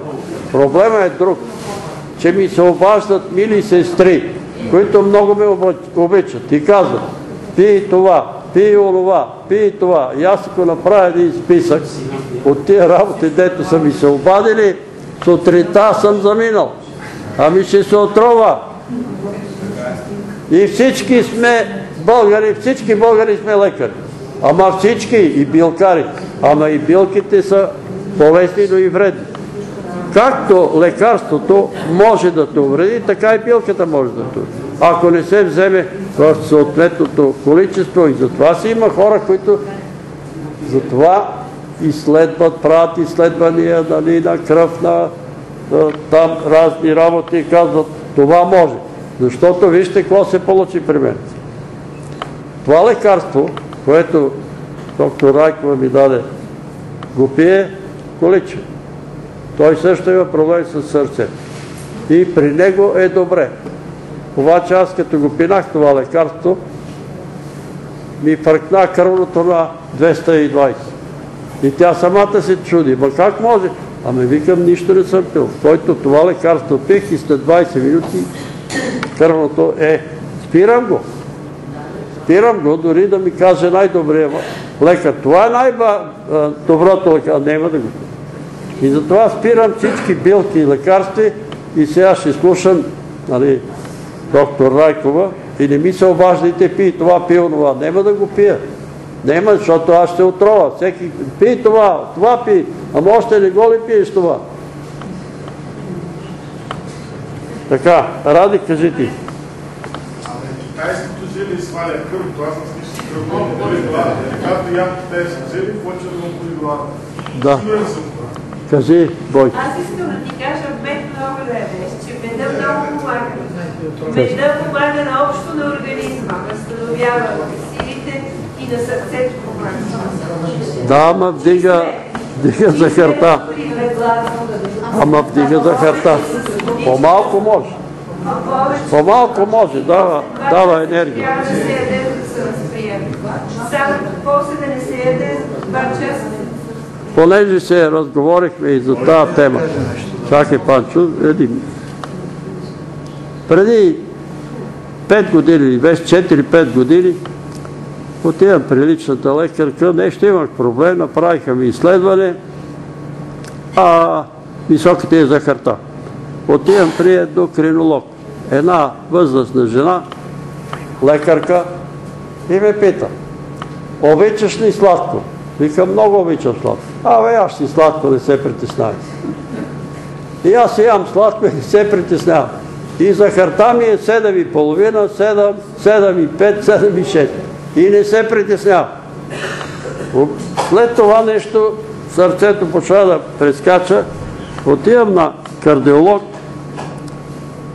Я да ти видя изследване. Е, с 7 захар. Ама как може така, бе?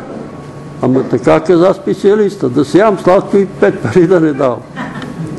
И вече 2-3 години нямам проблеми. И сядах колко тареки с Марето ходихме във Видин. 3-4 тареки и мед съм ги оправил.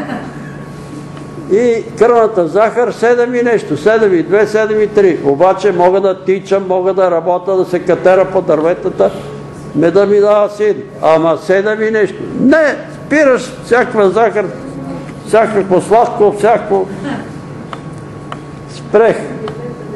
И сега при това изследване оня ден в това в покръжна болница. А, захарта е пет и нещо казал. А, добре си, пет и нещо е добре. Така че ще хапам, ще те послушам за меда. Ако беше ми казала пържоли, нямаше да ти послушам, ама меда много го обичам, затова по-малко ще си хапам. Добре. може ли да кажа? А, кажи, Панчо, извинай. Меда е храната на пчелите, както млякото е храната на кравите. Меда не е храна за хората. Пчелите си правят храна, за да могат да ядат.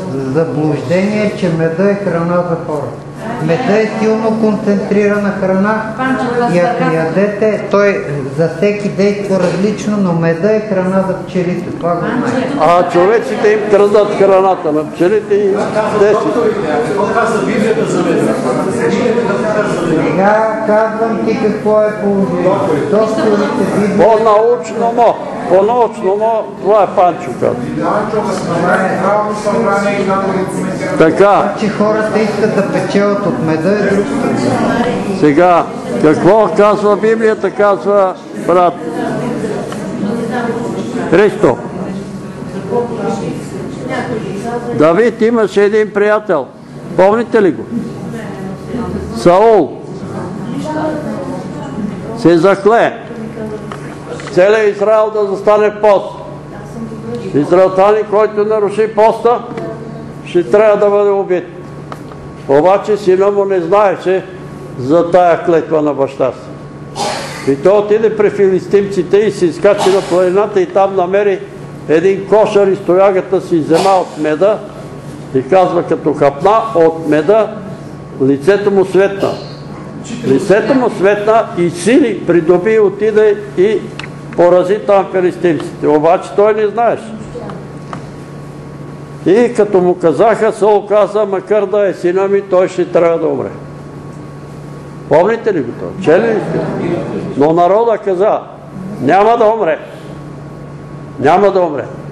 Той се е бил за той Израел, не е знаел, не е знаел, няма да умре и така го спасиха.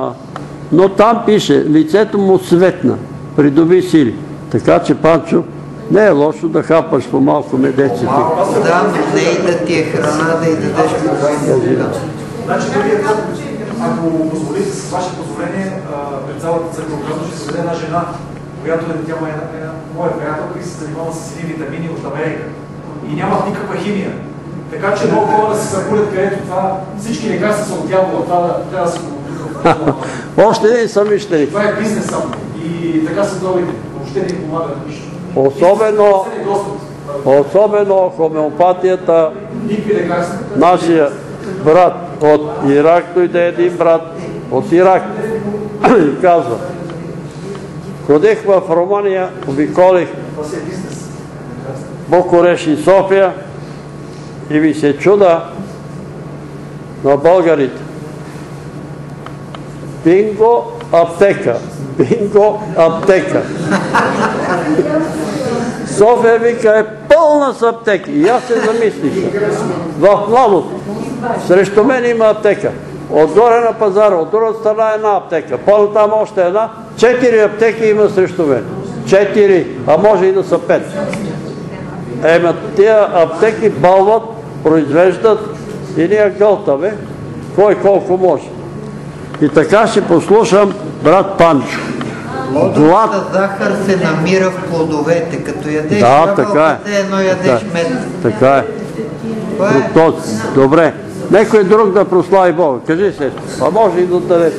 Много ви моля да внесете някакво обяснение за, за Не чух. Така, нали? Не чувам. За задушница. А? За задушница да кажеш. Кога е задушник? Не. А? Бихте казали за... Днеска ли е задушник? Не, не, не. По принцип. А, да. Ние сме говорили много пъти, ама понеже ме питат. Да, не си била тук. Понеже спо- споменах. Не дейте се лъга, че на задушница ще занесете на гробищата ядене и вашия покойник ще яде. Няма да яде. Това не може да яде, разберете го, разсъждавайте. Той нема нито зъби, нито стомах, нито сърце, нема, той е дух. Това, което се прави е с помен и затова се казва помен. Да си спомним за еди кой си. Нали, Бог да го прости. Като кажем Бог да го прости, евангелистите скачат. Защо скачат? Да го осъдили? Значи той е покойник, ако аз съм го познавал и казвам Бог да му прости, това означава, че каквото той е сгрешил срещу мене, аз му прощавам. Обаче, каквото е сгрешил срещу брат Христо, не мога да му проста. Нали? ако е сгрешил срещу брат, но аз му прощавам. И Исус казва, ако вие от сърце простите, и вашия отец ще прости. Ако аз от сърце простя на този човек, и Бог му прощава. И затова ви казвам, прощавайте и на тия, ако са ви клепали, ако са писали доноси, прощавайте им. Какво ще спечелите, ако вие задържате грехи? Те ще бъдат осъдени, ще бъдат хвърлени в ад. Ама те защо са ме предали? Еми, оплашени са се, предали са те голема работа. Нали си жив и здрав? Нали си жив и здрав? И така, това е направено да си спомняме за покойниците и да не се къса връзката с деди, прадеди, прабаби нали, и нашите покойници. За това го е направила църквата, а не, че те ще ядат и ще пият на задушни. Нито могат да ядат, нито могат да пият. И това, което ви казвам, не е мое творение. Същото казва Свети Василий Велик. Могат ли покойниците да ядат? Не могат. Защо? Ами защото нямат храносмилателна система. Не могат да ядат. Затова заблуждавате се, като ходите и слагате там храна на гроба. Ние бехме на Любомила там на брати, на, как ти се, снаха, почина снахай. И отидахме там, нещо година ли беше, и свещеника чете там, нали, от тревите, и майка й слага на гроба ядене на трупа там, ядене, той вика, бе, не слагай това на гроба, бе, сестро, бе, не го слагай, бе, тя пак. Все едно не, не и, всеки си има свой си разбира. И добре, че този свещеник им каза, ама вижте сега, тя няма да яде. И те и слагат това, отива на кучетата и на животни, тук ще дойде да ядат. Ама тя, нали, има някаква насит. Е, каква насит? Ема насит. Но може ли да почитаме покойниците? Ми редно е да ги почитаме. Редно е нашите покойници да почитаме. Сега казвам това, което съм сънувал. Когато почина съпругата на брат Димитър Количев, аз я сънувах, че тя се жени, облечена в бели дрехи, като булка. И една жена се представи при мене, аз така, нали, днеска говорихме за това знание. Аз имам знанието, че тази жена е майката на съпругата на брат Димитър. И тя се обърна към мене и каза, как не намери време цял живот да ме почете? Какво да я почете? Да занесе едно цвете на гроба и да каже, майко, миличка, ти си ме родила, аз съм те нали, притеснявала или нещо друго. Обаче така са научили евангелисти. Като се погребе, там вече до там. А не е така, не е правилно.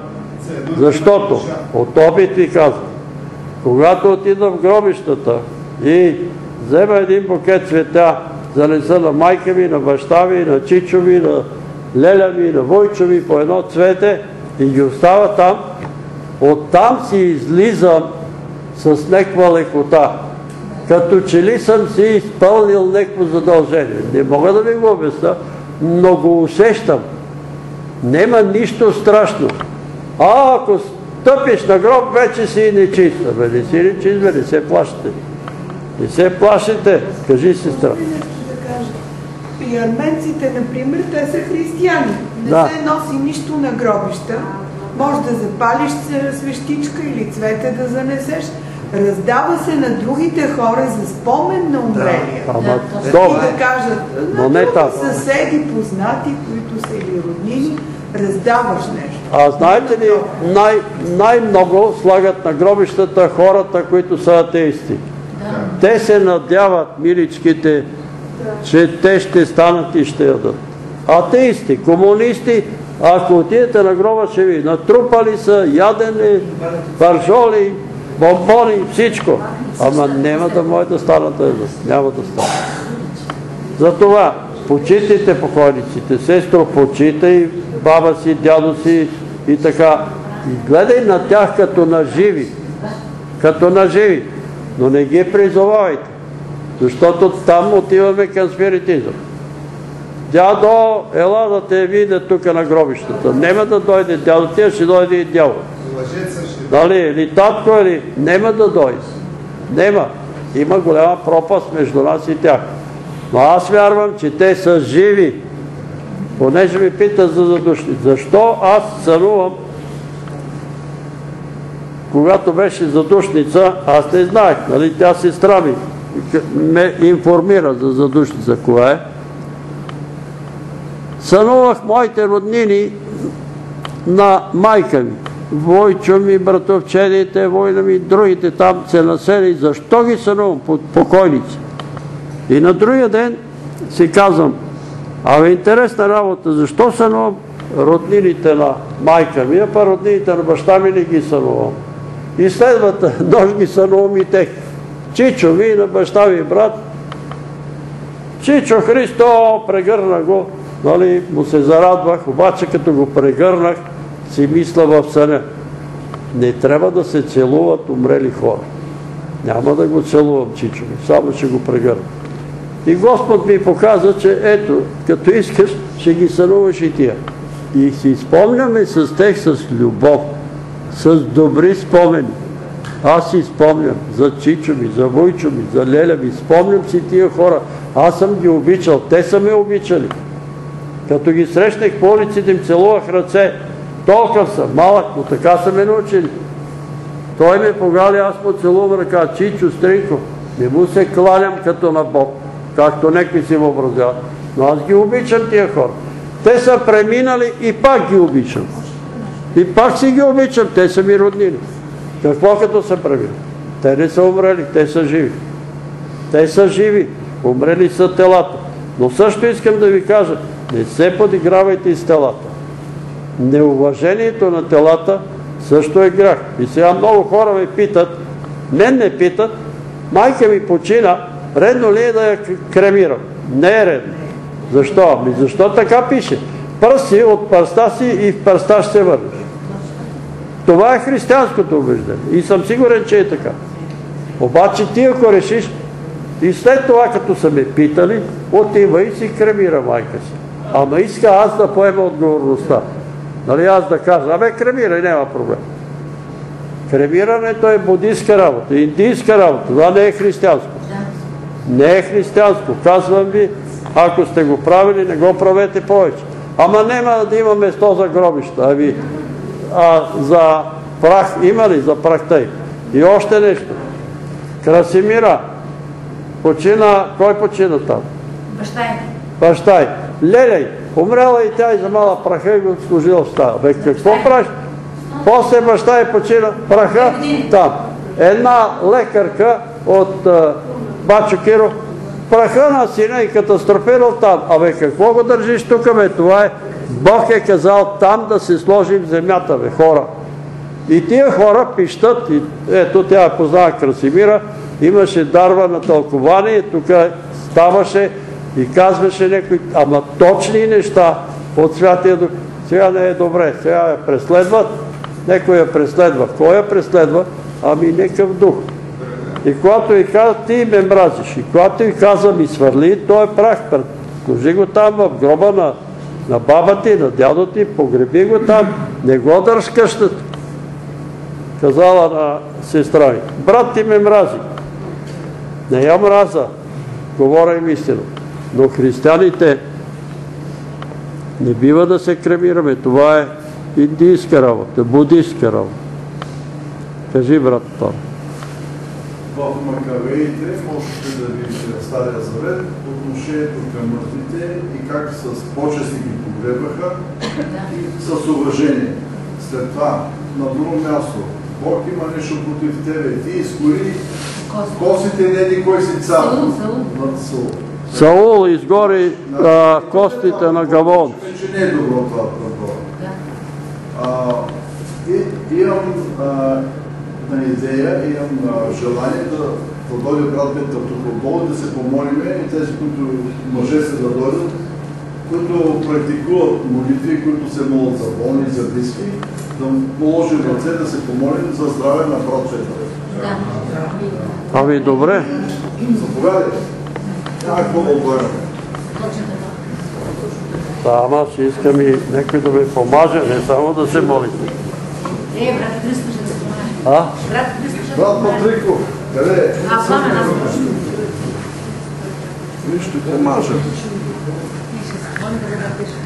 Абе, някой беше сънувал сън, че се молите за мене. Помазваш ли? Помазваш ли? Аз не съм че ти е умрял, обаче след това, след 15 минути, стана ти зле, беше като мъртъв и след 10 на 15 минути се изправи, да, и продължи. А, ама не искам да умирам. Аз ти го казах, не Минете умрял. по-напред, мъжете, така като се молите за болни, за домашни. Хайде се поленича, вие се молете. Анчо, извинявай. А, да,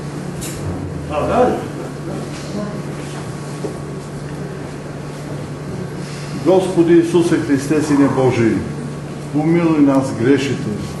Слаби и немощни сме, но Твоята сила в немощ се изявява. Ела в нашите немощи, ела в нашите болести, прослави името си лекарю на лекарите. Докосли си сега до брат Петър, прости му беззаконията. Ако нещо е съгрешил пред Тебе, прости му, Ти знаеш, изобличай го. Ето той иска да спре лекарствата. Откри му, Господи, волята си. Благослови го, докосли се до него сега. Очисти го. В името на Господа Ис Христа, души нечестиви на високо кръвно и холестерол. Напоследте, брат Петър, вън вражи лукави и на високо кръвно и холестерол, на всяка немощ, вън, брат Петър. Нека Бог да ви смъмри и запрети да се върши обратно, нито да влизате други хора. Боже, помилуй го с Твоята десница, с Твоята прободена десница. Тази ръка, що благослава към нас, простри, Господи, прослави името си. Ето да си го употребил за много хора да помага. Молите сега за брат Петър, благослови го. Подари ни го за още дълги години. Подари ни го, Господи. На Тебе се надяваме. Ето, ние сме повече от двама и трима и се молиме и вярваме, че Ти чуеш молитвите ни според Словото си и благославаш да се молим един за друг. Нека бъде слава на името ти. Бъди здрав, брат Петре, в мощното име на Господа Исус Христа. Бъди развързан от всеки нечестив и немощен дух, от високо кръвно и холестерол. Бъди освободен в името на Господа Исус Христа. Бъди здрав, брат Петре. Божията милост и Божията любов да бъдат винаги върху тебе. Божията възкресителна сила да бъде върху тебе. Да възкръсне Господ в Твоето сърце, в Твоето кръвно, в Твоето тяло и в Твоя дом. В името на Господа Исус Христа бъди развързан. Пак ще кажа, в името на Господа Исус Христа, вън души нещиви на високо кръвно холестерол, на всяка немощ, на смущение в сърцето, сърдечно-съдовата система, вън от тялото на брат Петър нечестиви, нека Бог да измъмри и запрети да се връща обратно нито в листите други хора. Господи, благослови брат Петър, благослови го, помилуй го, изцели го, подари ни го, зарадвай ни. Ти си верен, Господи, да дадеш и да благословиш и голяма е славата Ти, да ни помилваш, да ни помилваш. Благодарим Ти, Боже. Оставяме брат Петър в Твоите башени ръце. Амин. Бъди здрав, брат Петър. В името на Господа Исус Христа. Амин. Значи. Спокойно. Цветни, цветни пъпки с зеленина букет. След това те виждам облечен в един скафандър и сложи шлема на скафандъра, готов си да излиташ космоса, но кораб не виждам. Космически кораб. Скафандър и друго, значи може нещо предпазвам, да го предпазвам. Букета, букета цветя, букета цветя е хубаво. После става, тя вижда, че съм умрял и ми а, слагат венец. Сега, Той един ден, вижда скафандъра, че съм готов вече да излитам. един ден всичко ще се случва. Няма да не е скоро. Брат Няма Христо, да умре, но ще живее, ще разказва делата Господи. И още един. Първотворение първа пише така, че ключовете на смъртта са в ръцете на Господи Исус Е, Христос. е. Добре дошъл. Чакай, Тони. Да помажем? Чакай малко. В името на Отца, Сина и Светия Дух помагам за здраве, благословение и за вечен живот. Слава Тебе, Боже. Букета цветя е хубаво нещо. Дето първото Като видение, каза букет пъпки, цветя. Да цвета, ами да, С пъпки, пъпки още не е още има. Другото е, православната църква има нещо, което е като от злато обаче, нещо като слънце, от злато, което е от тавана. И, и да, и е такава бяло върху теб. И след това се излива едно като бяло, някаква бяла течност като мляко, но не точно мляко, като мирос едно върху теб. И след това, като се моли за изпълнението на духовете, една като котка такава бяла, но мръсна, с ногтите такава настръхнала цялата, драска по една постелка и Една котка бяла, мръсна и ще Да, мръсни котка. А, Руско съвсем изчезна. Лошо е, като хората, О, едно. Пламене, така ме караш да се мисля, че съм много немощен. Благодаря ви, Бог да ви благослови. Амин.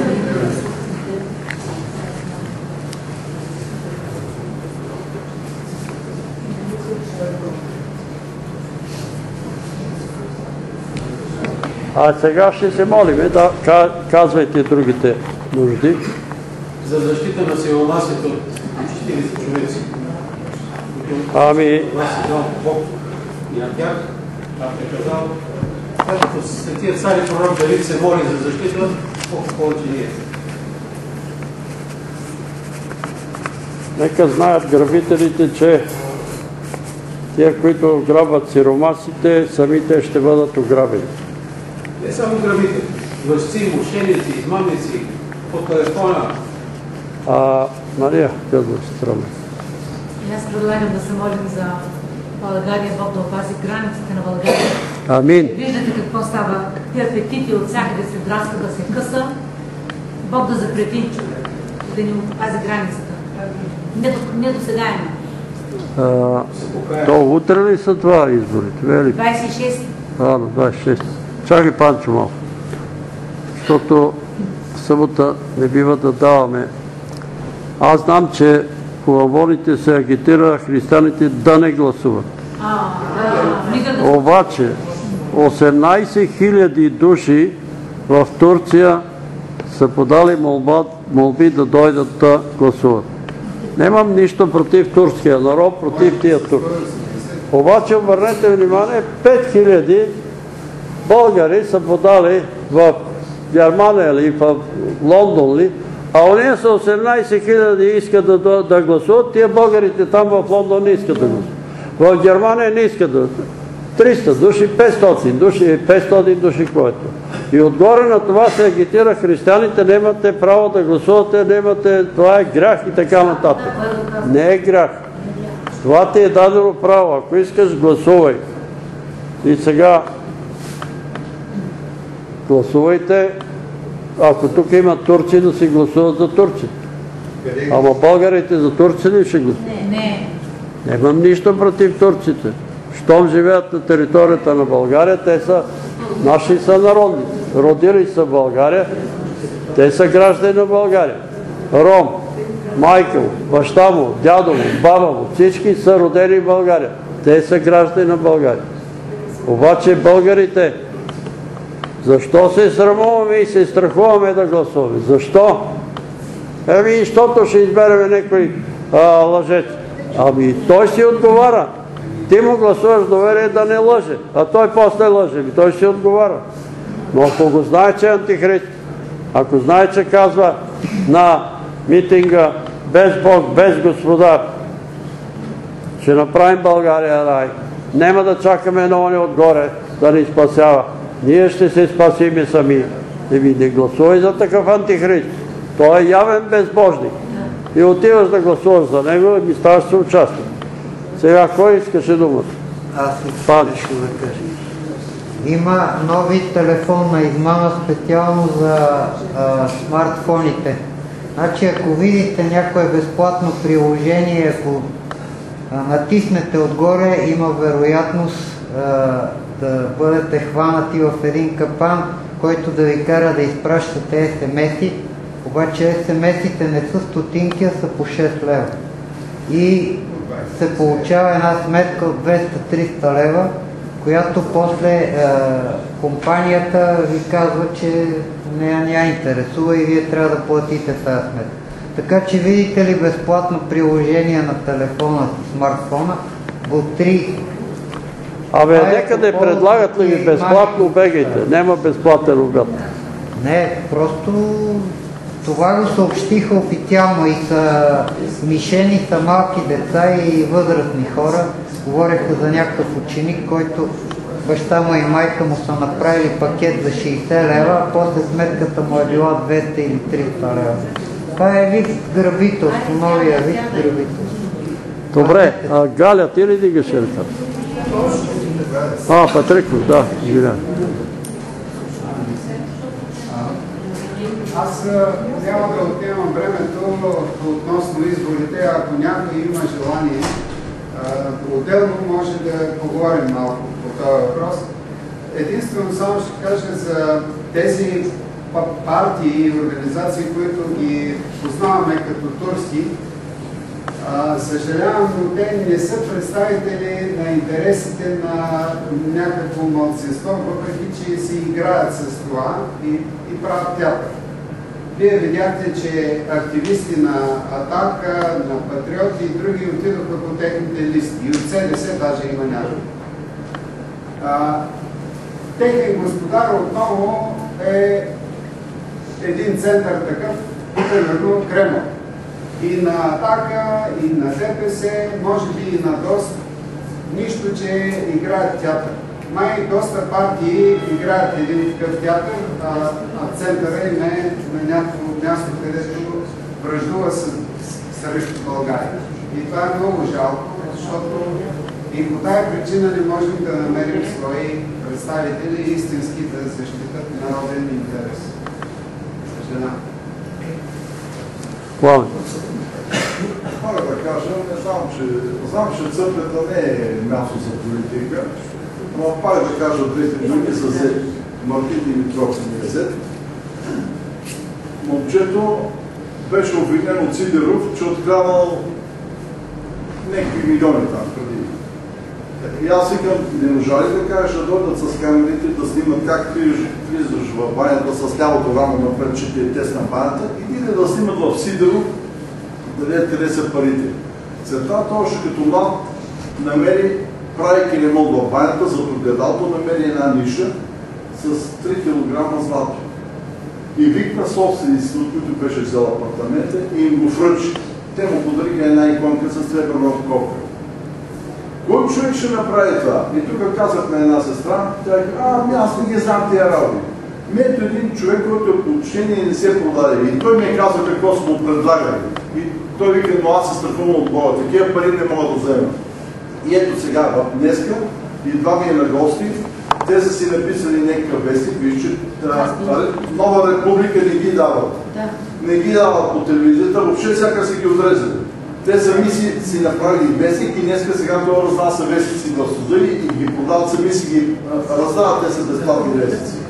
Ето, ако искате почтен човек, ето, отрязаха му спирачките. На кого ще отрежат спирачките да, да предизвикат катастрофа? На кого? На тези, които са милионери? И така, продава, който иска, ето, не са с гейовете, отказаха се от гейовете, да се комбинират с тези, които са за гейовете, отказаха се от много неща, говорят за Бога, говорят за вероучение, Господ да ги благослови. Вярно, че е трудно човек да повярва. Много партии си създава, всичко е умешано. Много е трудно. Но аз ви казвам, бюлетин е номер 14, Четири. 4, пардон. Да, 4. Е, Уго ще ще ни прати с 14. Който има сърце, не, ако ви гласувате за тях, поне се помолете за тях. Помолете се. Добре, ще се молиме, добре предложи брата тук да се молиме за добри управи. Всички, които идват, нали, ние трябва да посетим, това е друг въпрос, нали? Ние е хубаво да се отнасяме добре към чужденеца, но не, да не забравяме, че има и друг, друго слово. Днес един свещеник излезе. Ние трябва да постъпваме според както е казал Исус Христос. Ма вижте, Исус Христос е Словото. Вижте какво каза Словото. То каза, хем да внимаваме с, с чужденците да бъдем любезни и да ги да не ги отхвърлям, но от друга страна, който не носи това учение, не го приема и в дома си, не го пуска в дома си, не го поздравя на улицата. Виждате ли, ние влизаме в света, но трябва ние да покажем на света светлината, а не да вземем от света. И тя, които с тяхното учение, би трябвало ние да им покажем нещо различно. Ако приемат, приемат. Ако не приемат, да ни бъдат като такива, които не ги приеме в дома си, които не ги поздравяваме. Чакай сега. А, извинявай. А, Тони, какво беше твоето видение? Антонет. Ами, кот. А? Кот, където...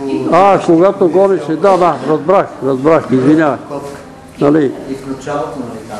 А, когато гонеше в името. То това е накрая, но в началото беше като от православната църква нещо, което е златно, както някакво... Това има, това е а, символ на а, звездата, Витлемската звезда, имат такива в храмовете с различни лъчове. Да, е така. Тя е символ на Витлемската. И, и не, и след това е едно като, а, той е като някаква кана, такова винен съд и като разведено мляко, като Мляко. миро, се едно се казва, че е миро, нали, което се Е, и словото, повече трябва да се чете Библията.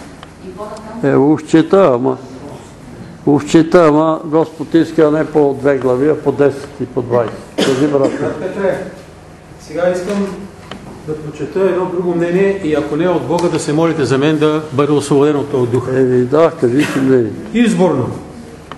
Не мога да гласувам за антикристи, лъжехристи, атеисти, защото те водят страната ни към пропаст. Справка драмата на Иван Лазов към пропаст. Имаме в интернет, който иска може да я отвори. Самият аз съм бил такъв, но Бог в голямата си милост ми подари вяра, която не желая да загубя, докато съм жив на тази грешна земя. Не мога да гласувам за тях, защото ставам съучастник в нечестивите им дела, които са лъжи, заблуди, самозаблуди, лукавства, измами, изнудвания, кражби, обири, грабежи, блудства, духовни и телесни, прелюбодейство, духовни и телесни, мъжеловства, хомосексуализъм и други неправди нечестия, които водят народа и страната ни към пропаст. Някои от тях имат желание да видят страната ни народа ни в по-добро материално състояние, но вечните и непроменени духовни закони, които Твореца на всичко видимо и невидимо е поставил, определят, че първо е духовното пробуждане, а след това е материалното благоденствие. Те обаче не признават и отхвърлят тези закони, създават закони, които да обслужват техните собствени алчни грабителски интереси, ограбващи и поробващи народа и страната ни. Думата морал я направих и изпразват от истинското и духовно съдържание и влагат техния извъртен смисъл. И си мислят, че така вечно ще могат да отхвърляват и царовото. Но Бог, който е творецът на всичко видимо и невидимо, не може да търпи неправдата, нечестта и разврата, което е грях. Вечно и щом няма покаяние, промяна, признаване на греха, спиране на греха, обръщане на човека към своя Създател Господ Исус Христос с молитва, с молитва и прощане на греховете, следва въздаяние, наказание за нарушаване Божите вечни закони за реда и мира в Божието творение, което влизат човеците, заобикалящата ги природа и взаимоотношенията помежду им. За да се избегнат по-тежки Божи наказания, трябва да започне духовна просвета на българския народ на държавно ниво. Като, като добро начало предлагам да започне редовно целогодишно, ежеседмично излъчване богослужението от християнските църкви, изборно и поредно, по българска национална телевизия, която трябва да бъде очистена от всякакъв духовен и телесен разврат и да представлява образец на морал, по който да се възпитава българския народ. Другото, което трябва да се направи, да се въведе вероучение всички български училища, начални, средни и висши, за да не изчезнем като народ и нация от лицето на земята. Смятам, че думата ми, думите ми не са пресилни и който чете Библията и ще разбере, че е така. И накрая моля Господи Исуса Христа да покаже за пореден път своята милост към българския народ и страната ни. Амин. Християнин и българин, името най-важно. Да кажа нещо. А Христо, ама кой, кой номер трябва да гласуваме за тоя? Има квадратче за мен. А? Има квадратче за мен. Квадрат. А, да, да не премени иди. Кажи. Аз споделям мнение. Това е мнение. В евангелските църкви се проповядва против гласуването. И аз, ако съм грях, молете се, това нещо от Бога или на Бога трябва да го прочета. Последното квадратче не подкрепям никого в бюлетината. Значи вие двамата вече сте го Българска... Ако не подкрепваш никого, ти подкрепваш пак комунисти. Комунисти на вас, комунисти в опозиция, реформатори комунисти, от всякъде комунисти. Не виждате ли, те са атеисти.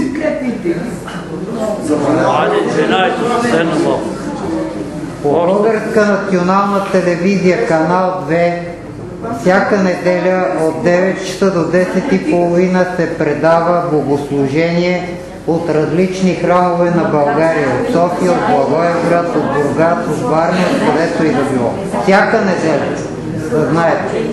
Така че има предаване на богослужения по Българска национална телевизия. Така, сега, извинявай, брат Христо, извинявайте, че се еднак. А, ако всички християни не подкрепят никого, тогава кой ще ни управлява? А 18 хиляди души в Турция ще гласуват за Ахмед Доган. Е, това е за първа. И кой ще ни управлява? Доброволно ще ставаме роби на Турция. Не, че имам нещо против турците. Живеещите в Турция да се имат. Обаче всички до един ще гласуват, а ние българите ще гласуваме против всички. Така, и какво се получава? Малко преди Иерусалим да бъде разрушен, да бъде разрушен и унищожен, в Иерусалим се зараждат много партии. Много партии. И всички тия партии са едни против други. И а, как се казваше? Йосиф Лави. Йосиф Лави. И Йосиф Лави пише в неговата книга. Всички партии в Иерусалим беха един против друг. А всички заедни, заедно против истината. Разбрахте ли ми какво? А всички против истината. Каква беше истината? Абе, покайте се, бе, ще ви изстреби Господ. И ги изстреби. Един милион загинах. Всички тия партии си заминах. Отидаха. Така и ние сега. Едни против други, а всички заедно против всички. Еми, къде отиват? Така че гласувайте за който искате. Имате право. И ползвайте си правото. Бог няма да ви накаже за това, че сте гласували за някой, който ви е симпатичен и той няма значение. Харесваш го, гласувай за него. Няма страшно. Обаче, ако гласуваш за човек, който хули Бога, е тогава си отговаряш. Ако гласуваш за който се подиграва с църквата, еми тогава ставаш съучастник. Ми, слушайте и наблюдавайте. Добре. Но може да гласувате и не подкрепам никого. Но вие видехте предите избори, 2% не подкрепят никого. Значи... Този вод е действителен. Да, не, но той е действителен, той се води. Но, друго е нещо, каквото беше в Унгария преди години. В Унгария 52% и нещо не гласувах. Не искаха 50% унгарци да гласуват.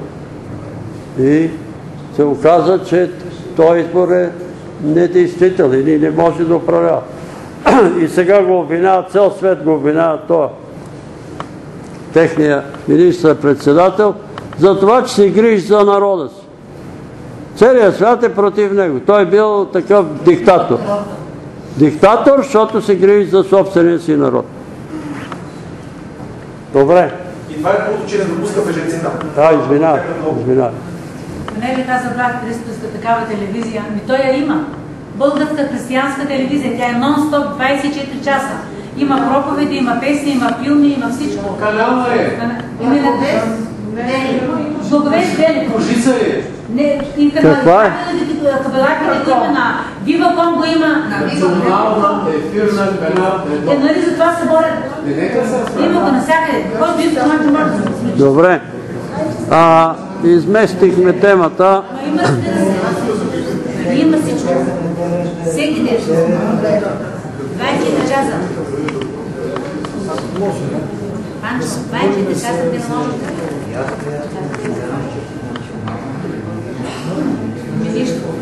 тук е. Който иска бива вон, винаги. Да се помолиме и за баба Калина от блок 203 Люлин. Да се обърне към вярата. Наистина старите хора вече крайно време е да се обърнат. Та през телевизията съдебен спор. Тя пред телевизията, пред съдебен спор излъга, че съм изтрошил бойлера, аз единствено сложих болената лента някаква си сложил там на малката връзка. Като Дай да видя си челата по-ясно да написал.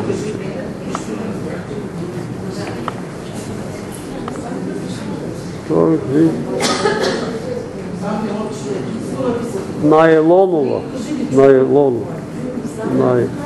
Найфонова ли? Найфонова. Лента за някаква връзка, която течеше. После тя, после тя излъга пак че съм го струшил и съм скъсал някаква връзка на 25.12 Пава Калина е заведе при от Тертер. Аз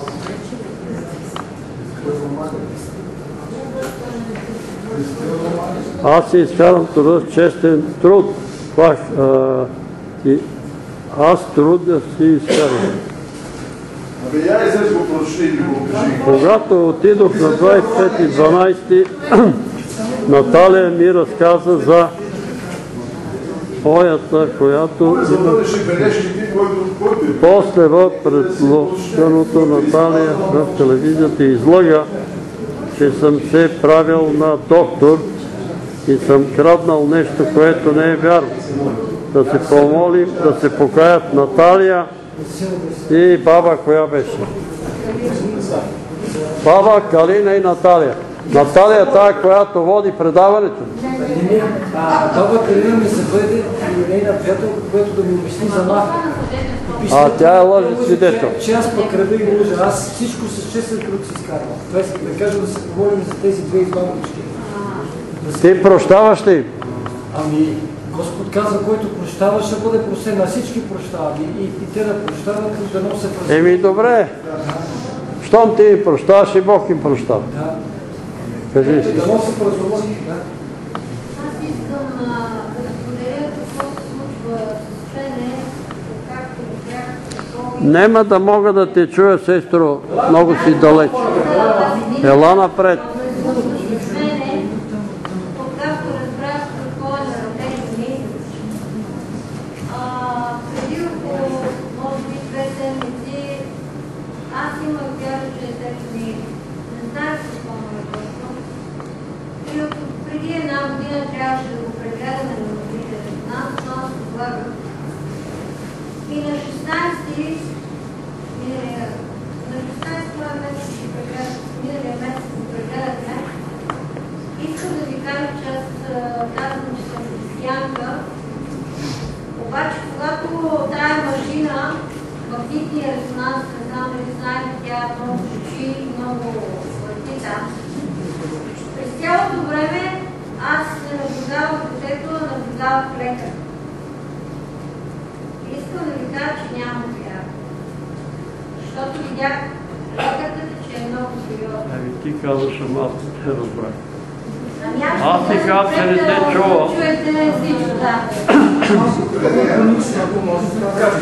Айде, Сега, искам да кажа какво се случва с мене, докато, както разбрах какво става с детето. Значи, на 16 трябваше да се явиме на магнитен резонанс, защото детето ми получи препарат. така. Така, отиваме там, аз се вода християнка. Само, че като отиваме там, тая машина бучи, бучи, там... Не работи. А? Не иска да работи. Не работи, А, ама работи. такава си е машината. Просто магнитен резонанс, върти се, но аз не гледам там. Аз гледам в лекар.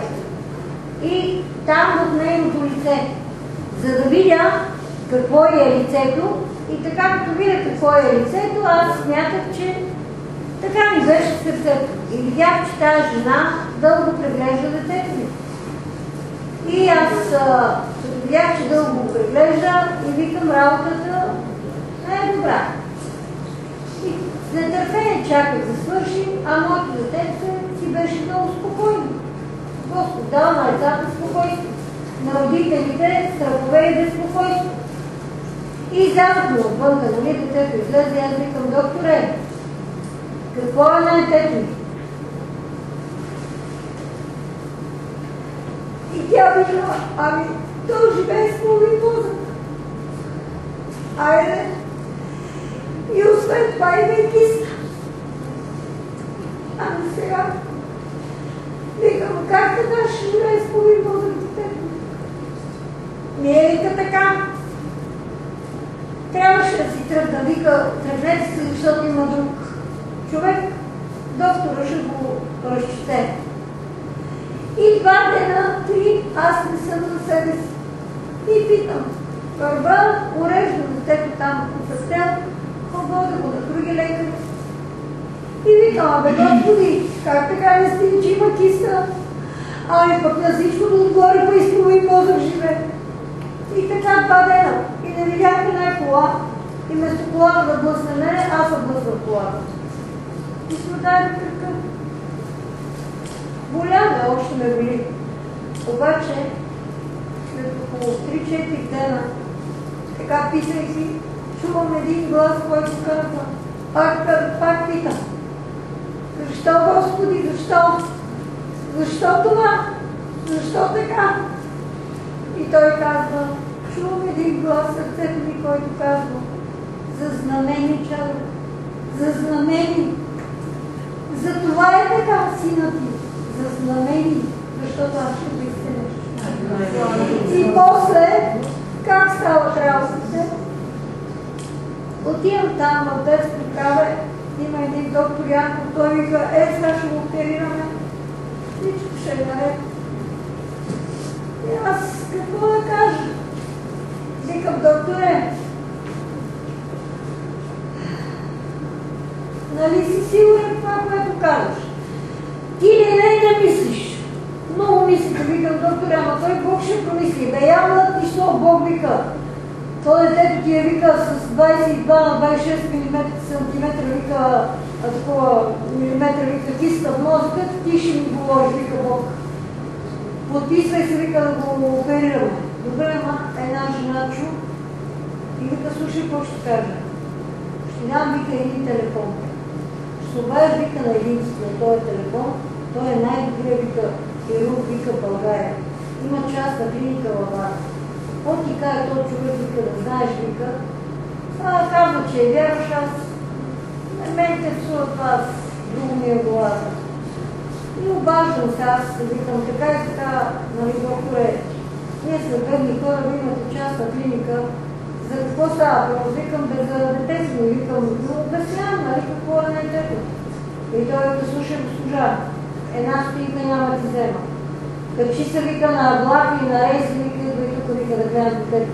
Защото много лекари вика казват, че за операция децата, вика, а може да се окаже, че не е за операция. Ела вика тук с касетката, с документите, вика, аз ще пригледам детето, ще го приема, без една стотинка ще го видя, няма да ви взема една стотинка и ще решим вика какво да правим. Така че да благодаря на това Господ, в който вярвам, че Той дава хора, дава средства, а пък моята вяра, че е нищожна и че съм притеснена, това вече е друг въпрос. Аз съм майка. Какво да направя? Душата ми е така. И да рева и да рева, гледам го, живо трябва си детето си играе, а пък аз всеки ден. Защото това, че аз Така че благодаря на моя Бог. Благодаря на Бог. Искам да те питам нещо. Какво ще речеш гадаене по лице израз? Това нещо практикувало ли? Не, аз не, не гадая. Не, не, не, не.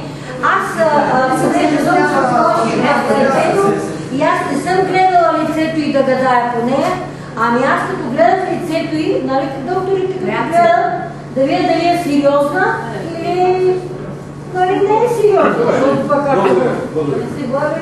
Майка ми оперираха в военна болница Кръка. И сестри там, е, не знам кои точно са участвали в, та- в тази игра, е, обработват майка ми, оттам и жена ми, че на два пъти, примерно две банки кръв и трябва да платим 500 лева. Так, а, ние кръв не можем да дадем. И казват, има тук една сестра, дето за 250 лева ще даде една банка кръв и после още една банка кръв. И ние се подготвяме, аз говорих с брат ми, че парите на майка ми са в брат ми, че той да отпусне и той се съгласи. И в последния момент, като се обадих на лекара, и той каза, ма каква кръв? Няма кръв, не сме преливали. И се оказа, че всичкото е била една игра и ние бехме приготвили пари и в последния момент се разминали. И с тия 500 лева да ги да. Да знаете, че играта, а кръв въобще не е преливала. Въобще. Внимавайте много с лекарите, пак пийте, отнесете се и към други. Не дейте разчита да, да се облягате на един човек. И Господа ни е на помощ. Ето Господ да даде така, че ще развине. Без 500 лева да ни ги дава. И то за нищо. Ще се моля ли? Айде да се моля.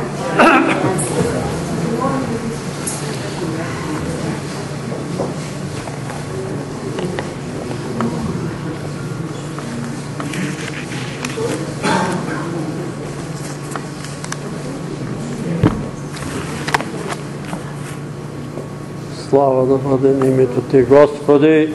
Благодарим и Ти, че имаме тая възможност. Малките човеци и ни дал достъп до престола на благодатта и вярваме, че Ти чуваш всяка дума, защото идваме в името и достоинството на Твоя единроден и възлюблен Син, който е нашия Господ и Спасител Исус Христос. Амин.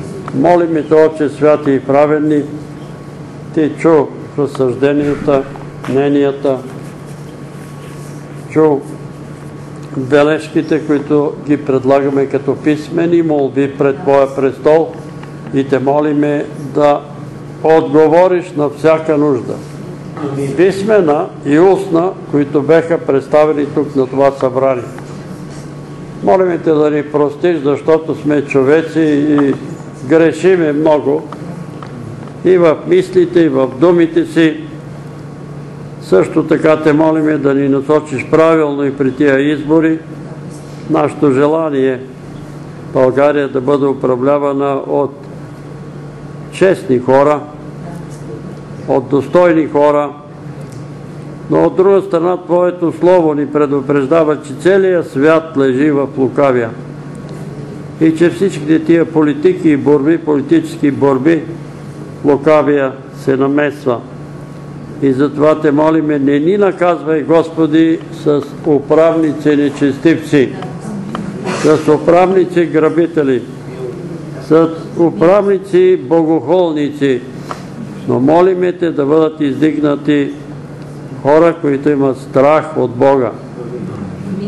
Благослови ни, Господи, с мъдри управници, защото Твоето Слово казва, при мъдър управник народа благоденства, при глупави управници народа страда. Молиме Те сега да минеш от глава на глава, души святи, и със силата на изцерението да ни изцериш от всяка болест и от всяка немощ. Молиме Те, Господи Исусе, да ни поръси с Твоята кръв и да ни очистиш от всеки грях и от всяко беззаконие. Ние вярваме и изповядваме, че Ти си нашият Спасител, че Ти си нашият Господ, че Ти си нашият универсален лекар и затова Те молиме. Спаси душите ни и цели телата ни. Мини от глава на глава. Мини от сърце на сърце. И кой каквато немощ и болест има, премахни от телата ни и от душите ни. Господи, помилвай домовете ни, роднините ни, близките ни, приятелите ни, дори и враговете ни. Помилвай ги, ние им прощаваме и те молим и ти да им простиш. Господи, слава да бъде на името Ти. Славиме Ти и Те величаваме Свята Тройца, един Бог в три лица.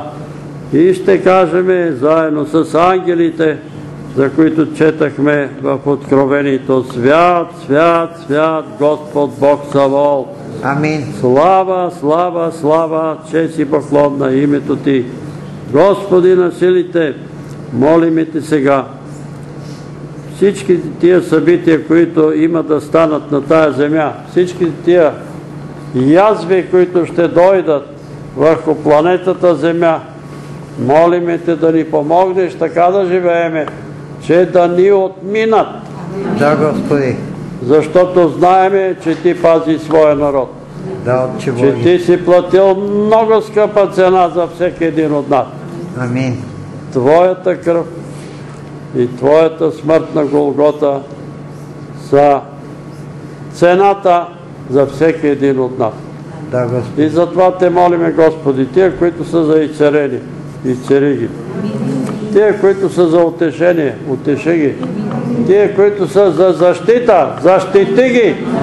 Пред властите и силите, Господи, защото Ти си праведния съдя и правилно ще отсъдиш.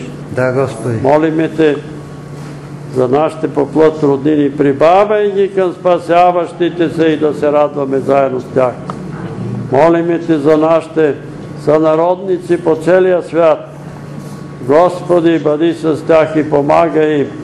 Ето преди много, много, много години, може би преди 50 години ти ми говори на сън, и ми каза, че ако българите не се покаят, България ще престане да съществува като държава. Да не бъде, Господи. Помогни ни да се свестим и да се опомним. Където и да са българите, да се свестят и да се опомнят. Молиме Те за свещеници, за пастири, учители. Ето успя врага да ни настрои едни срещу други, да ги ненавиждаме, да им нямаме доверие, защото са били агенти на държавна сигурност, а дали са били, ние не знаеме. Но врага разнася, Господи, клеветата и пее арията на клеветата, а ние, за съжаление, мнозина се хващаме на тая въдица. Господи, помогни ни от сърце да простим на всички, които са ни клеветили, които са писали доноси против нас, които са ни преследвали, които са се опитвали да ни унищожат. Ние им прощаваме и те молиме и Ти да им простиш. Господи, молиме Те за Твоята любов в сърцата ни, в домовете ни, в църквите ни. Твоята любов да царува, защото си ни предупредил, че по това ще ни познаят дали сме Твои ученици, ако имаме любов помежду си. Благодарим Ти, Господи. Благодаря Ти, Господи, за брата и сестрите, които се молиха за мен. Благодаря Ти за здравето, за силите. Нека бъде Твоята воля. И те моля за всички уния, които имат болки, момента, където и да са в телата им, да спрат болките, да изчезнат болките и те да се излезнат от Божия дом, весели, ободрени, освежени от Твоето присъствие, от Твоя дух. Слава да бъде на името Ти. И сега всички заедно желаеме да Ти се помолиме, Отче святи и праведни, с молитвата, с която Твоят син ни е научил, и като се молиме да казваме Отче наш, който си на небесата, да се святи името Твое, да дойде царското Твое, да бъде волята Твоя, както на небето, така и на земята. Хлябът наш насъщни, дай го нам днес и прости ни дълговете наши, както и ние прощаваме на нашите длъжници. и не ни въвеждай в изкушение, но избави нас от лукавия, защото е Твое царството и силата и славата во веки веков. Амин. Вярвам в един Бог Отец, Вседържител, Творец на небето и земята, на всичко видимо и невидимо, и в един Господ Исус Христос, Сина Божия, единородния, който е роден от Отца, преди всички векове, светлина от светлина, Бог истинен от Бог истинен, роден, несътворен, единосъщен с Отца, и чрез когото всичко е станало, който замина човеците и заради нашето спасение, слезе от небесата и се въплати Духа Святи и Дева Мария. И стана човек. И бе раснат за нас. При Понтия Пилата. И страда и бе погребан и възкръсна в третия ден според Писанията и се възнесе на небесата. И седи от дясно на Отца. И пак ще дойде със слава да съди живи и мъртви и царството му не ще има край. И Дух Свети Господа, животворящия, който от Отца изхожда, комуто се покланяме и го славиме наравно с Отца и Сина, и който е говорил чрез пророците, една свята, вселенска и апостолска църква, изповядваме едно кръщение за опрощаване на греховете.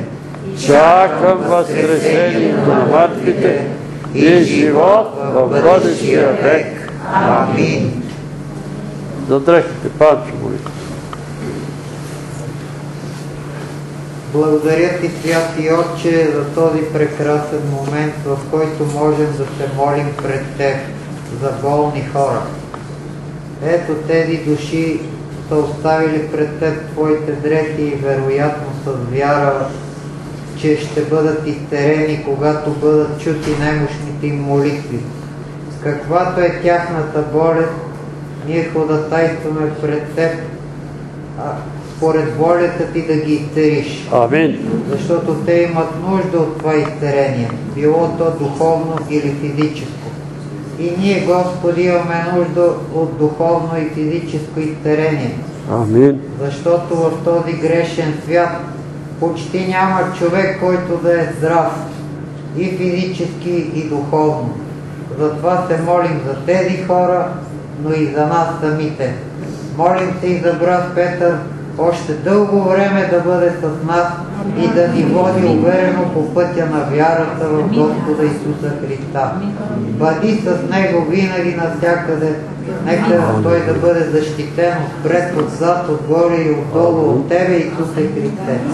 Да бъде защитен с една истински силна броня, бронята на Божието Слово. Амин. За всичко това, което правиш за нас, за това, че ние можем да разчитаме на Теб, за това, че винаги, когато извикаме към Теб, Ти ни чуваш и вярваме, че ще ни отговориш за винаги, от сега и до века. Амин. Така, може да седнете, ако има видения, откровения, говорете.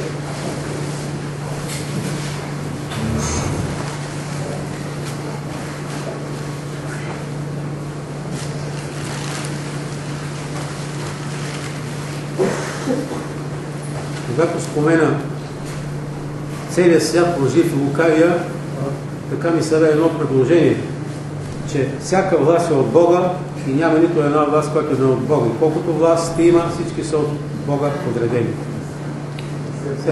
Той е цар на целите и Господ на Господа. Ние сме говорили много път по този въпрос. Всяка власт е от Бога, но не всеки властник е от Бога. Аз не споря Това е само казвам. допуснат. Обаче може ли един богохулник, той е от Бога. Вие сте си го избрали това. Вие си гласувате за него и всяка власт е от Бога. Глас, глас народен, глас Божий. Сега аз ви питам. Когато Пилат попита народа, кого да ви пусна? Варава ли Христос? Народа каза Варава. Е това Божията власт ли? Бог ли искаше да бъде пуснат Варава?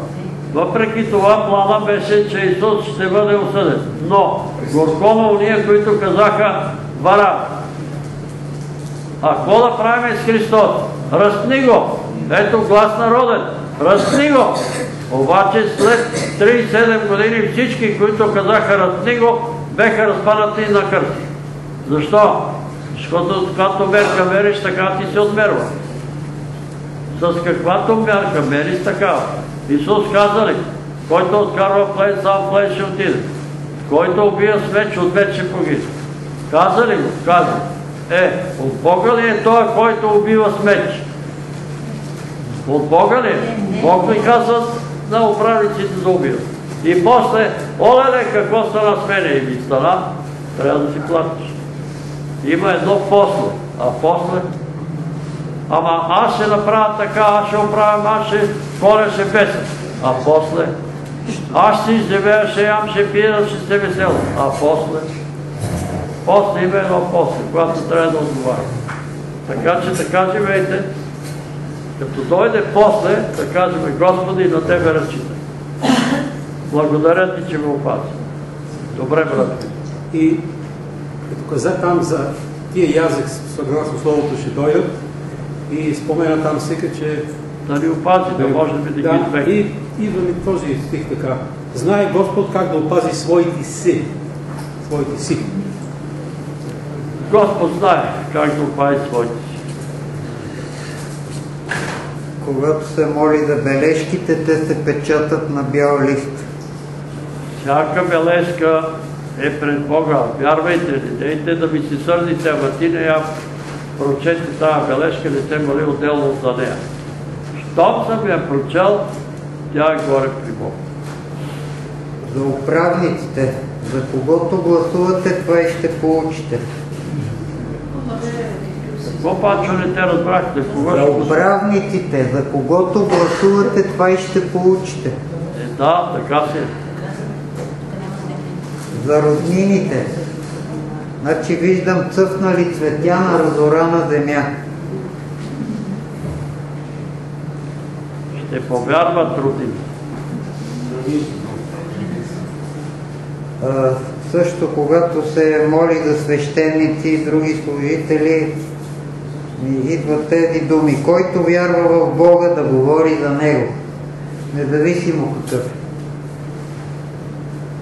Когато се моли за духовно и физическо изцеление, виждам един гвардеец с бяла униформа, който е вдигнал ръце нагоре към небето. Гвардейците са от... Кои беха? От Израел по 12 хиляди от всяко племе. И някой гвардеец се моли и за нас.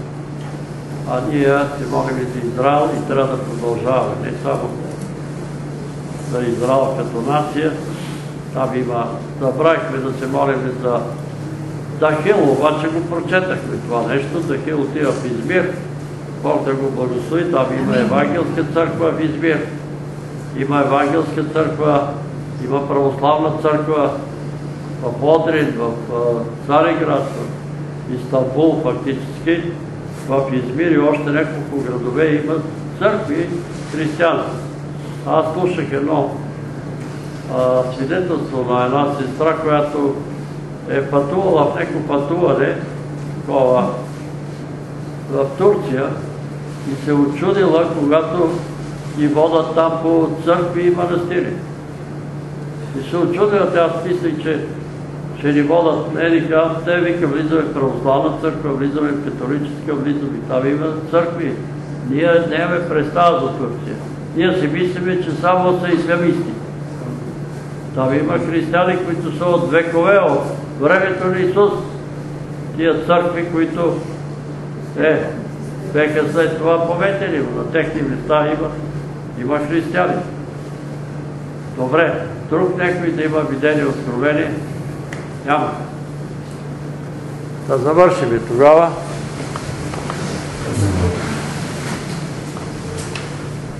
И сега благодата на нашия Господ Исус Христос, любовта на Бога Отца, общението и ръководството на Святия Божий Дух да бъде с всички нас, с домовете ни, с народа ни, с църквата му на това място, с църквата Христова в град София, в България в целия свят, от сега и до века. Амин.